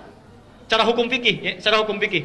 Ya. Atau ke rumah tetangga, tapi ini hanya berlaku bagi tumbuhan saja, jangan dikiaskan. Oh berarti kalau hewan juga begitu tadi ya. Ada ayam tetangga main ke rumah kita, potong aja misalnya, itu nggak bisa. Ya. Oh, itu cuma untuk untuk buah. Baik. Awas hati-hati jangan salah menyimpulkan. Eh, salah menyimpulkan. Pelan-pelan. Ini Bashir karena tahu hukum orang fikih diambil oleh beliau, dimakan. Masya Allah. Begitu dimakan, lihat bagaimana cara Allah ingin mempertemukan seorang soleh dengan orang yang soleh lagi dan memberikan banyak kebaikan. Begitu dimakan oleh beliau, kadang Allah hilang sebagian ingatannya. Hilang sebagian ingatannya. Bingung, loh kok saya lupa ya dengan yang tadi. Dibaca kitab diingat lupa lagi. Apa salah saya ini? Apa salah saya? Ingat nasihat Imam Waqi yang pernah disampaikan, ya, masya Allah. Ya Maaf, ingat kaidah bukan nasihat Imam Waqi. Ingat kaidah bahwa sebagian dari ilmu itu adalah pemberian dari Allah, cahaya. Ya. Imam Waqi pernah memberikan nasihat pada Imam Syafi'i ketika mengadu, ya. jauh setelah masa setelah ini, 150 tahun setelah kejadian ini, lebih bahkan. Ya. Kata Imam Waqi, al ilmu nurun wa nurullahi la yunzalu ilal asi. Ilmu itu cahaya dan cahaya Allah tidak akan diberikan pada orang yang bermaksiat. Bashir menduga saya telah salah makan apel orang tanpa bertanya dulu dan meminta izin pada pemiliknya. Padahal secara fikih benar. Maka diikuti aliran apel ini, aliran sungainya diikuti, sampai di satu kebun, ditemukanlah pemiliknya, rahmukallah. Kadar Allah, pemilik kebunnya ada di situ. Maka orang ini tiba-tiba langsung minta maaf ya. Ya Sidi, ya Tuhan mohon maaf. Ini saya makan apel Anda tanpa izin Anda. Makan apel Anda tanpa izin Anda. Saya minta maaf. Dan orang pemilik kebun pun ini orang soleh, Masya Allah. Orangnya soleh, tahu hukum, dan tahu kaidah dari Nabi. Kaidah Nabi, jika ada seorang laki-laki yang kau ridhai akhlak dan agamanya, maka segera nikahkan dengan putrimu. Masya Allah. Kata orang ini, tidak begitu mudah memaafkan orang yang salah. Ada syaratnya. Ada syaratnya, Masya Allah. Mahi, apa itu katanya? Saya penuhi saat ini juga, Masya Allah. Kata yang punya kebun, Anda mesti nikahi dengan anak, eh, Anda mesti nikahi putri saya. Saya maafkan Anda, syaratnya menikah dengan putri saya. Sebentar Bu ya. Kalau Bapak dalam situasi demikian, makan apel. Masya Allah. Cari-cari, ketemu dengan pemilik kebun. Pak, saya minta maaf. Nggak mudah. Nikahi dulu anak saya. Bagaimana responnya? Anggap ibu nggak ikut dulu lah. Gitu ya. Tidak mudah ya? Baik. Orang ini bingung. Bingung. Karena tidak siap, tidak tahu kok mesti sedemikian syaratnya. Tapi perhatikan, ketika hukum manusia dipertemukan dengan hukum Allah, Orang ini menyimpulkan, Bashir menyimpulkan, tidak apa-apa saya ikuti dalam dunia kemanusiaan, yang penting Allah ridha dengan saya. Daripada saya menghindar, Allah tidak memberikan ridhanya. Ini prinsip seorang muslim. Jika anda dihadapkan pada keinginan dunia dan ridha Allah, maka carilah apa yang Allah ridhai. Maka Allah akan berikan seluruh hal yang anda inginkan. Jelas sampai sini? Misal, anda kerja, pendapatan cuma satu juta, tapi masya Allah salatnya enak, baca Qurannya mah nikmat gitu ya. Antara kerja dengan ibadah itu. Yang kedua ada pilihan 10 juta ya Allah. Sholatnya susah, mau Jumat sip-sipan, baca Quran juga dilarang, dilihatin terus. Pilih mana? Satu juta berkah, 10 juta tidak berkah. Tidak ada pilihan ketiga. Nah, kalau anda dihadapkan pada yang seperti itu, tidak mudah milihnya, nggak mudah. Ya, biasa duduk, jabatan bagus, tapi hartanya nggak jelas. Banyak hal-hal kong kali kong yang tidak jelas. Ah sudah, pilih yang lebih baik. Nanti Allah berikan kebaikan di situ. Maka Bashir memutuskan saya pilih ketentuan yang Allah telah tetapkan. Baik, saya siap menikahi. Pikir-pikir dulu kata orang tua ini, pikir-pikir dulu karena anak saya itu harus Anda siap Matanya buta, telinganya tuli, dan bisu. Mata nggak bisa lihat, telinga nggak bisa dengar, mulut nggak bisa bicara. Masih berani nggak pak? Nah orang ini karena sudah mantap dalam jiwanya, ingin ridha Allah, dia katakan, ya saya siap menikahinya. Kapan? Kata orang tua ini nggak mau menunggu kesempatan yang lama. Kata pemilik kebun ini, malam ini juga saya nikahkan anda dengan anak saya. Maka tibalah pada malam itu dinikahkan akadnya. Biasanya kalau di Arab malam dinikahkan. Ya. Selesai itu silahkan tengok katanya calon istrimu. Eh, cal cal eh, tengok istrimu. Masuklah ke satu kamar, ya, ditunjukkan, diketok pintunya, ya, dan mengucapkan salam. Ini adabnya. Ya. Memang paham istrinya nggak bisa bicara, tapi tidak ada salahnya mengucapkan salam. Ya mungkin dijawab di hatinya. Ingat ya, di, di satu ruangan yang anda tinggalkan kalau kosong itu ada setan yang menunggui. Dan cara mengusirnya menggunakan salam. Ya. Cara mengusirnya menggunakan salam. Jadi setannya namanya Dasim. Dasim. Perempuannya Dasimah, ya. Ada muslim, muslimah, mukmin, mukminah. Baik. Jadi ketika Anda mengucapkan salam assalamualaikum, itu setan akan berkata, tidak ada tempat bagi kita untuk bernaung di sini. Tapi kalau Anda tidak mengucapkan assalamualaikum, dia akan berkata, kita punya tempat bernaung di sini. Hati-hati. Ya, sekarang kan rumah sedang ditinggalkan, kamar ditinggalkan. Biasakan. Masuk rumah, assalamualaikum. Walaupun nggak ada orang yang nggak ada masalah. Ya. Tidak dijawab, alhamdulillah. Dijawab pun syukur. Ya. Assalamualaikum, waalaikumsalam. Gak apa-apa. Ya, Insya Allah. Baik. Nah ini dia masuk, diketok pintu, dia ucapkan Assalamualaikum Allah. Tiba-tiba dari dalam ada jawaban Waalaikumsalam warahmatullahi wabarakatuh. Perempuan bisu bisa jawab. Bashir mengira salah kamar, balik lagi ke mertuanya. Baik ya. Oh, kok di dalam ada yang jawab katanya? Bukan itu mungkin kamarnya. Ya. Kata bapaknya, itu kamarnya, masuk aja sana katanya. Tidak tidak akan tertukar, masuk saja. Masya Allah. Semakin penasaran, begitu dibuka, dibuka pintunya, ketika masuk, perhatikan, ada gerakan dari istrinya. Dua suamiku duduk di sini. Silakan. Duduk di sini. Ah, bisa bicara katanya. Baik. Kemudian kan menunjuk di sini, melihat ya ke pintu, duduk di sini, berarti bisa lihat. Kalau dia bisa jawab, plus bisa dengar kan? Bisa dengar, bisa jawab, bisa lihat. Semakin aneh orang ini, Allah. Apa yang terjadi katanya? Begitu dibuka hijabnya, masya Allah, ternyata itu paling perempuan paling cantik di desanya, yang sangat diperebutkan oleh banyak orang. Tidak diberikan pada ayahnya menunggu orang soleh datang. Seorang yang soleha dipertemukan dengan orang soleh, dibawa, diarahkan, ya, dan dibuat skenario yang luar biasa untuk memberikan kenikmatan yang sangat besar. Ridha Allah dipilih diberikan kenikmatan. Bertanya Bashir, ayahmu berkata kamu itu buta, tuli dan bisu. Saya khawatir keliru katanya. Ya. Kata perempuan ini, ayahku benar, dia tidak berkas, dia tidak berdusta. Saya memang buta karena dirawat oleh ayah untuk tidak pernah melihat hal-hal yang tidak dibenarkan oleh Allah. Maka pandangan saya buta pada segala yang diharamkan oleh Allah. Tidak pernah melihat aurat yang terbuka, macam-macam. Masya Allah, dijaga oleh bapaknya. Ini orang tua luar biasa, Bu. Sampai dewasanya dijaga supaya memandang yang baik-baik. Saya memang tuli karena memang dijaga oleh orang tua, jangan pernah mendengar sesuatu yang diharamkan. Dan saya bisu karena dijaga untuk tidak pernah mengucapkan hal yang tidak diridhoi oleh Allah dan Rasulnya. Dijaga. Maka Masya Allah, menikahlah dua orang ini, perhatikan.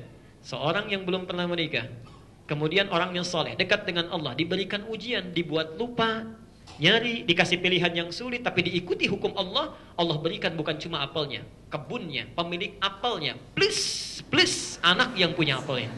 Masya Allah. Seluruhnya Allah berikan. Ya. Tapi jangan jadikan alasan pulang dari sini anda cari apel. Tidak, nggak ada hubungannya, ya, ada hubungannya. Di, nah dari pernikahan inilah kemudian lahir seorang anak diberi nama Nu'man, dikenal dengan Nu'man bin Bashir. Kelak dewasa akan dikenal dengan Abu Hanifah. 40 tahun anak ini setelah tubuh dewasa, selama 40 tahun tidak pernah batal wudhunya antara Isya dengan subuh. Abu Hanifah tidak pernah batal, tidak pernah batal wudhunya selama 40 tahun. Ya. Karena itu semoga Allah sekiranya memberikan kenikmatan dan kebaikan kepada kita semuanya. Dan kalau bukan kita mungkin anak-anaknya atau cucunya yang memunculkan orang-orang soleh baru di masa yang akan datang. Baik, Uh, satu, mohon maaf, saya agak percepat untuk mengumumkan. Mulai uh, tahun yang akan datang atau bulan depan, kajian kami insya Allah untuk sesi saya, insya Allah nanti akan berpindah ke pekan yang pertama. Oke, okay? untuk kajian yang bulan yang akan datang. Jadi pindah pekan yang pertama, mudah-mudahan nanti bisa di cross ya, itu satu.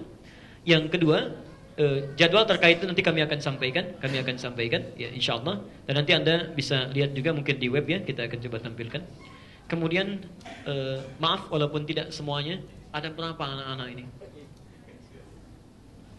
Berapa anak tadi? Ada berapa orang di depan? Yang anak-anak saja. Yang merasa anak-anak boleh mengacungkan tangan. Satu, dua, tiga, empat, lima, enam. Ah, boleh. Baik. Udah nggak usah maju di situ saja ya. Tahu. Baik, duduk aja nanti setelah setelah ta'lim kita tutup dulu ya. Baik, alhamdulillah. Maksud saya, maksud saya, Bapak, Ibu kalau sudah dapat mengenalkan anaknya pada tuntunan Al-Quran, Sunnah dan agama yang baik, maka pertahankan itu. Pertahankan dan doakan selalu. Mudah-mudahan anak-anak itu yang tumbuh lebih baik dibandingkan dengan orang tuanya di kemudian hari. Oke. Okay? Subhanakallahumma wa bihamdika asyhadu an la ilaha illa anta astaghfiruka wa atubu ilaik. Wa akhiru da'wana alhamdulillahi rabbil alamin. Allahu minkum. Assalamualaikum warahmatullahi wabarakatuh.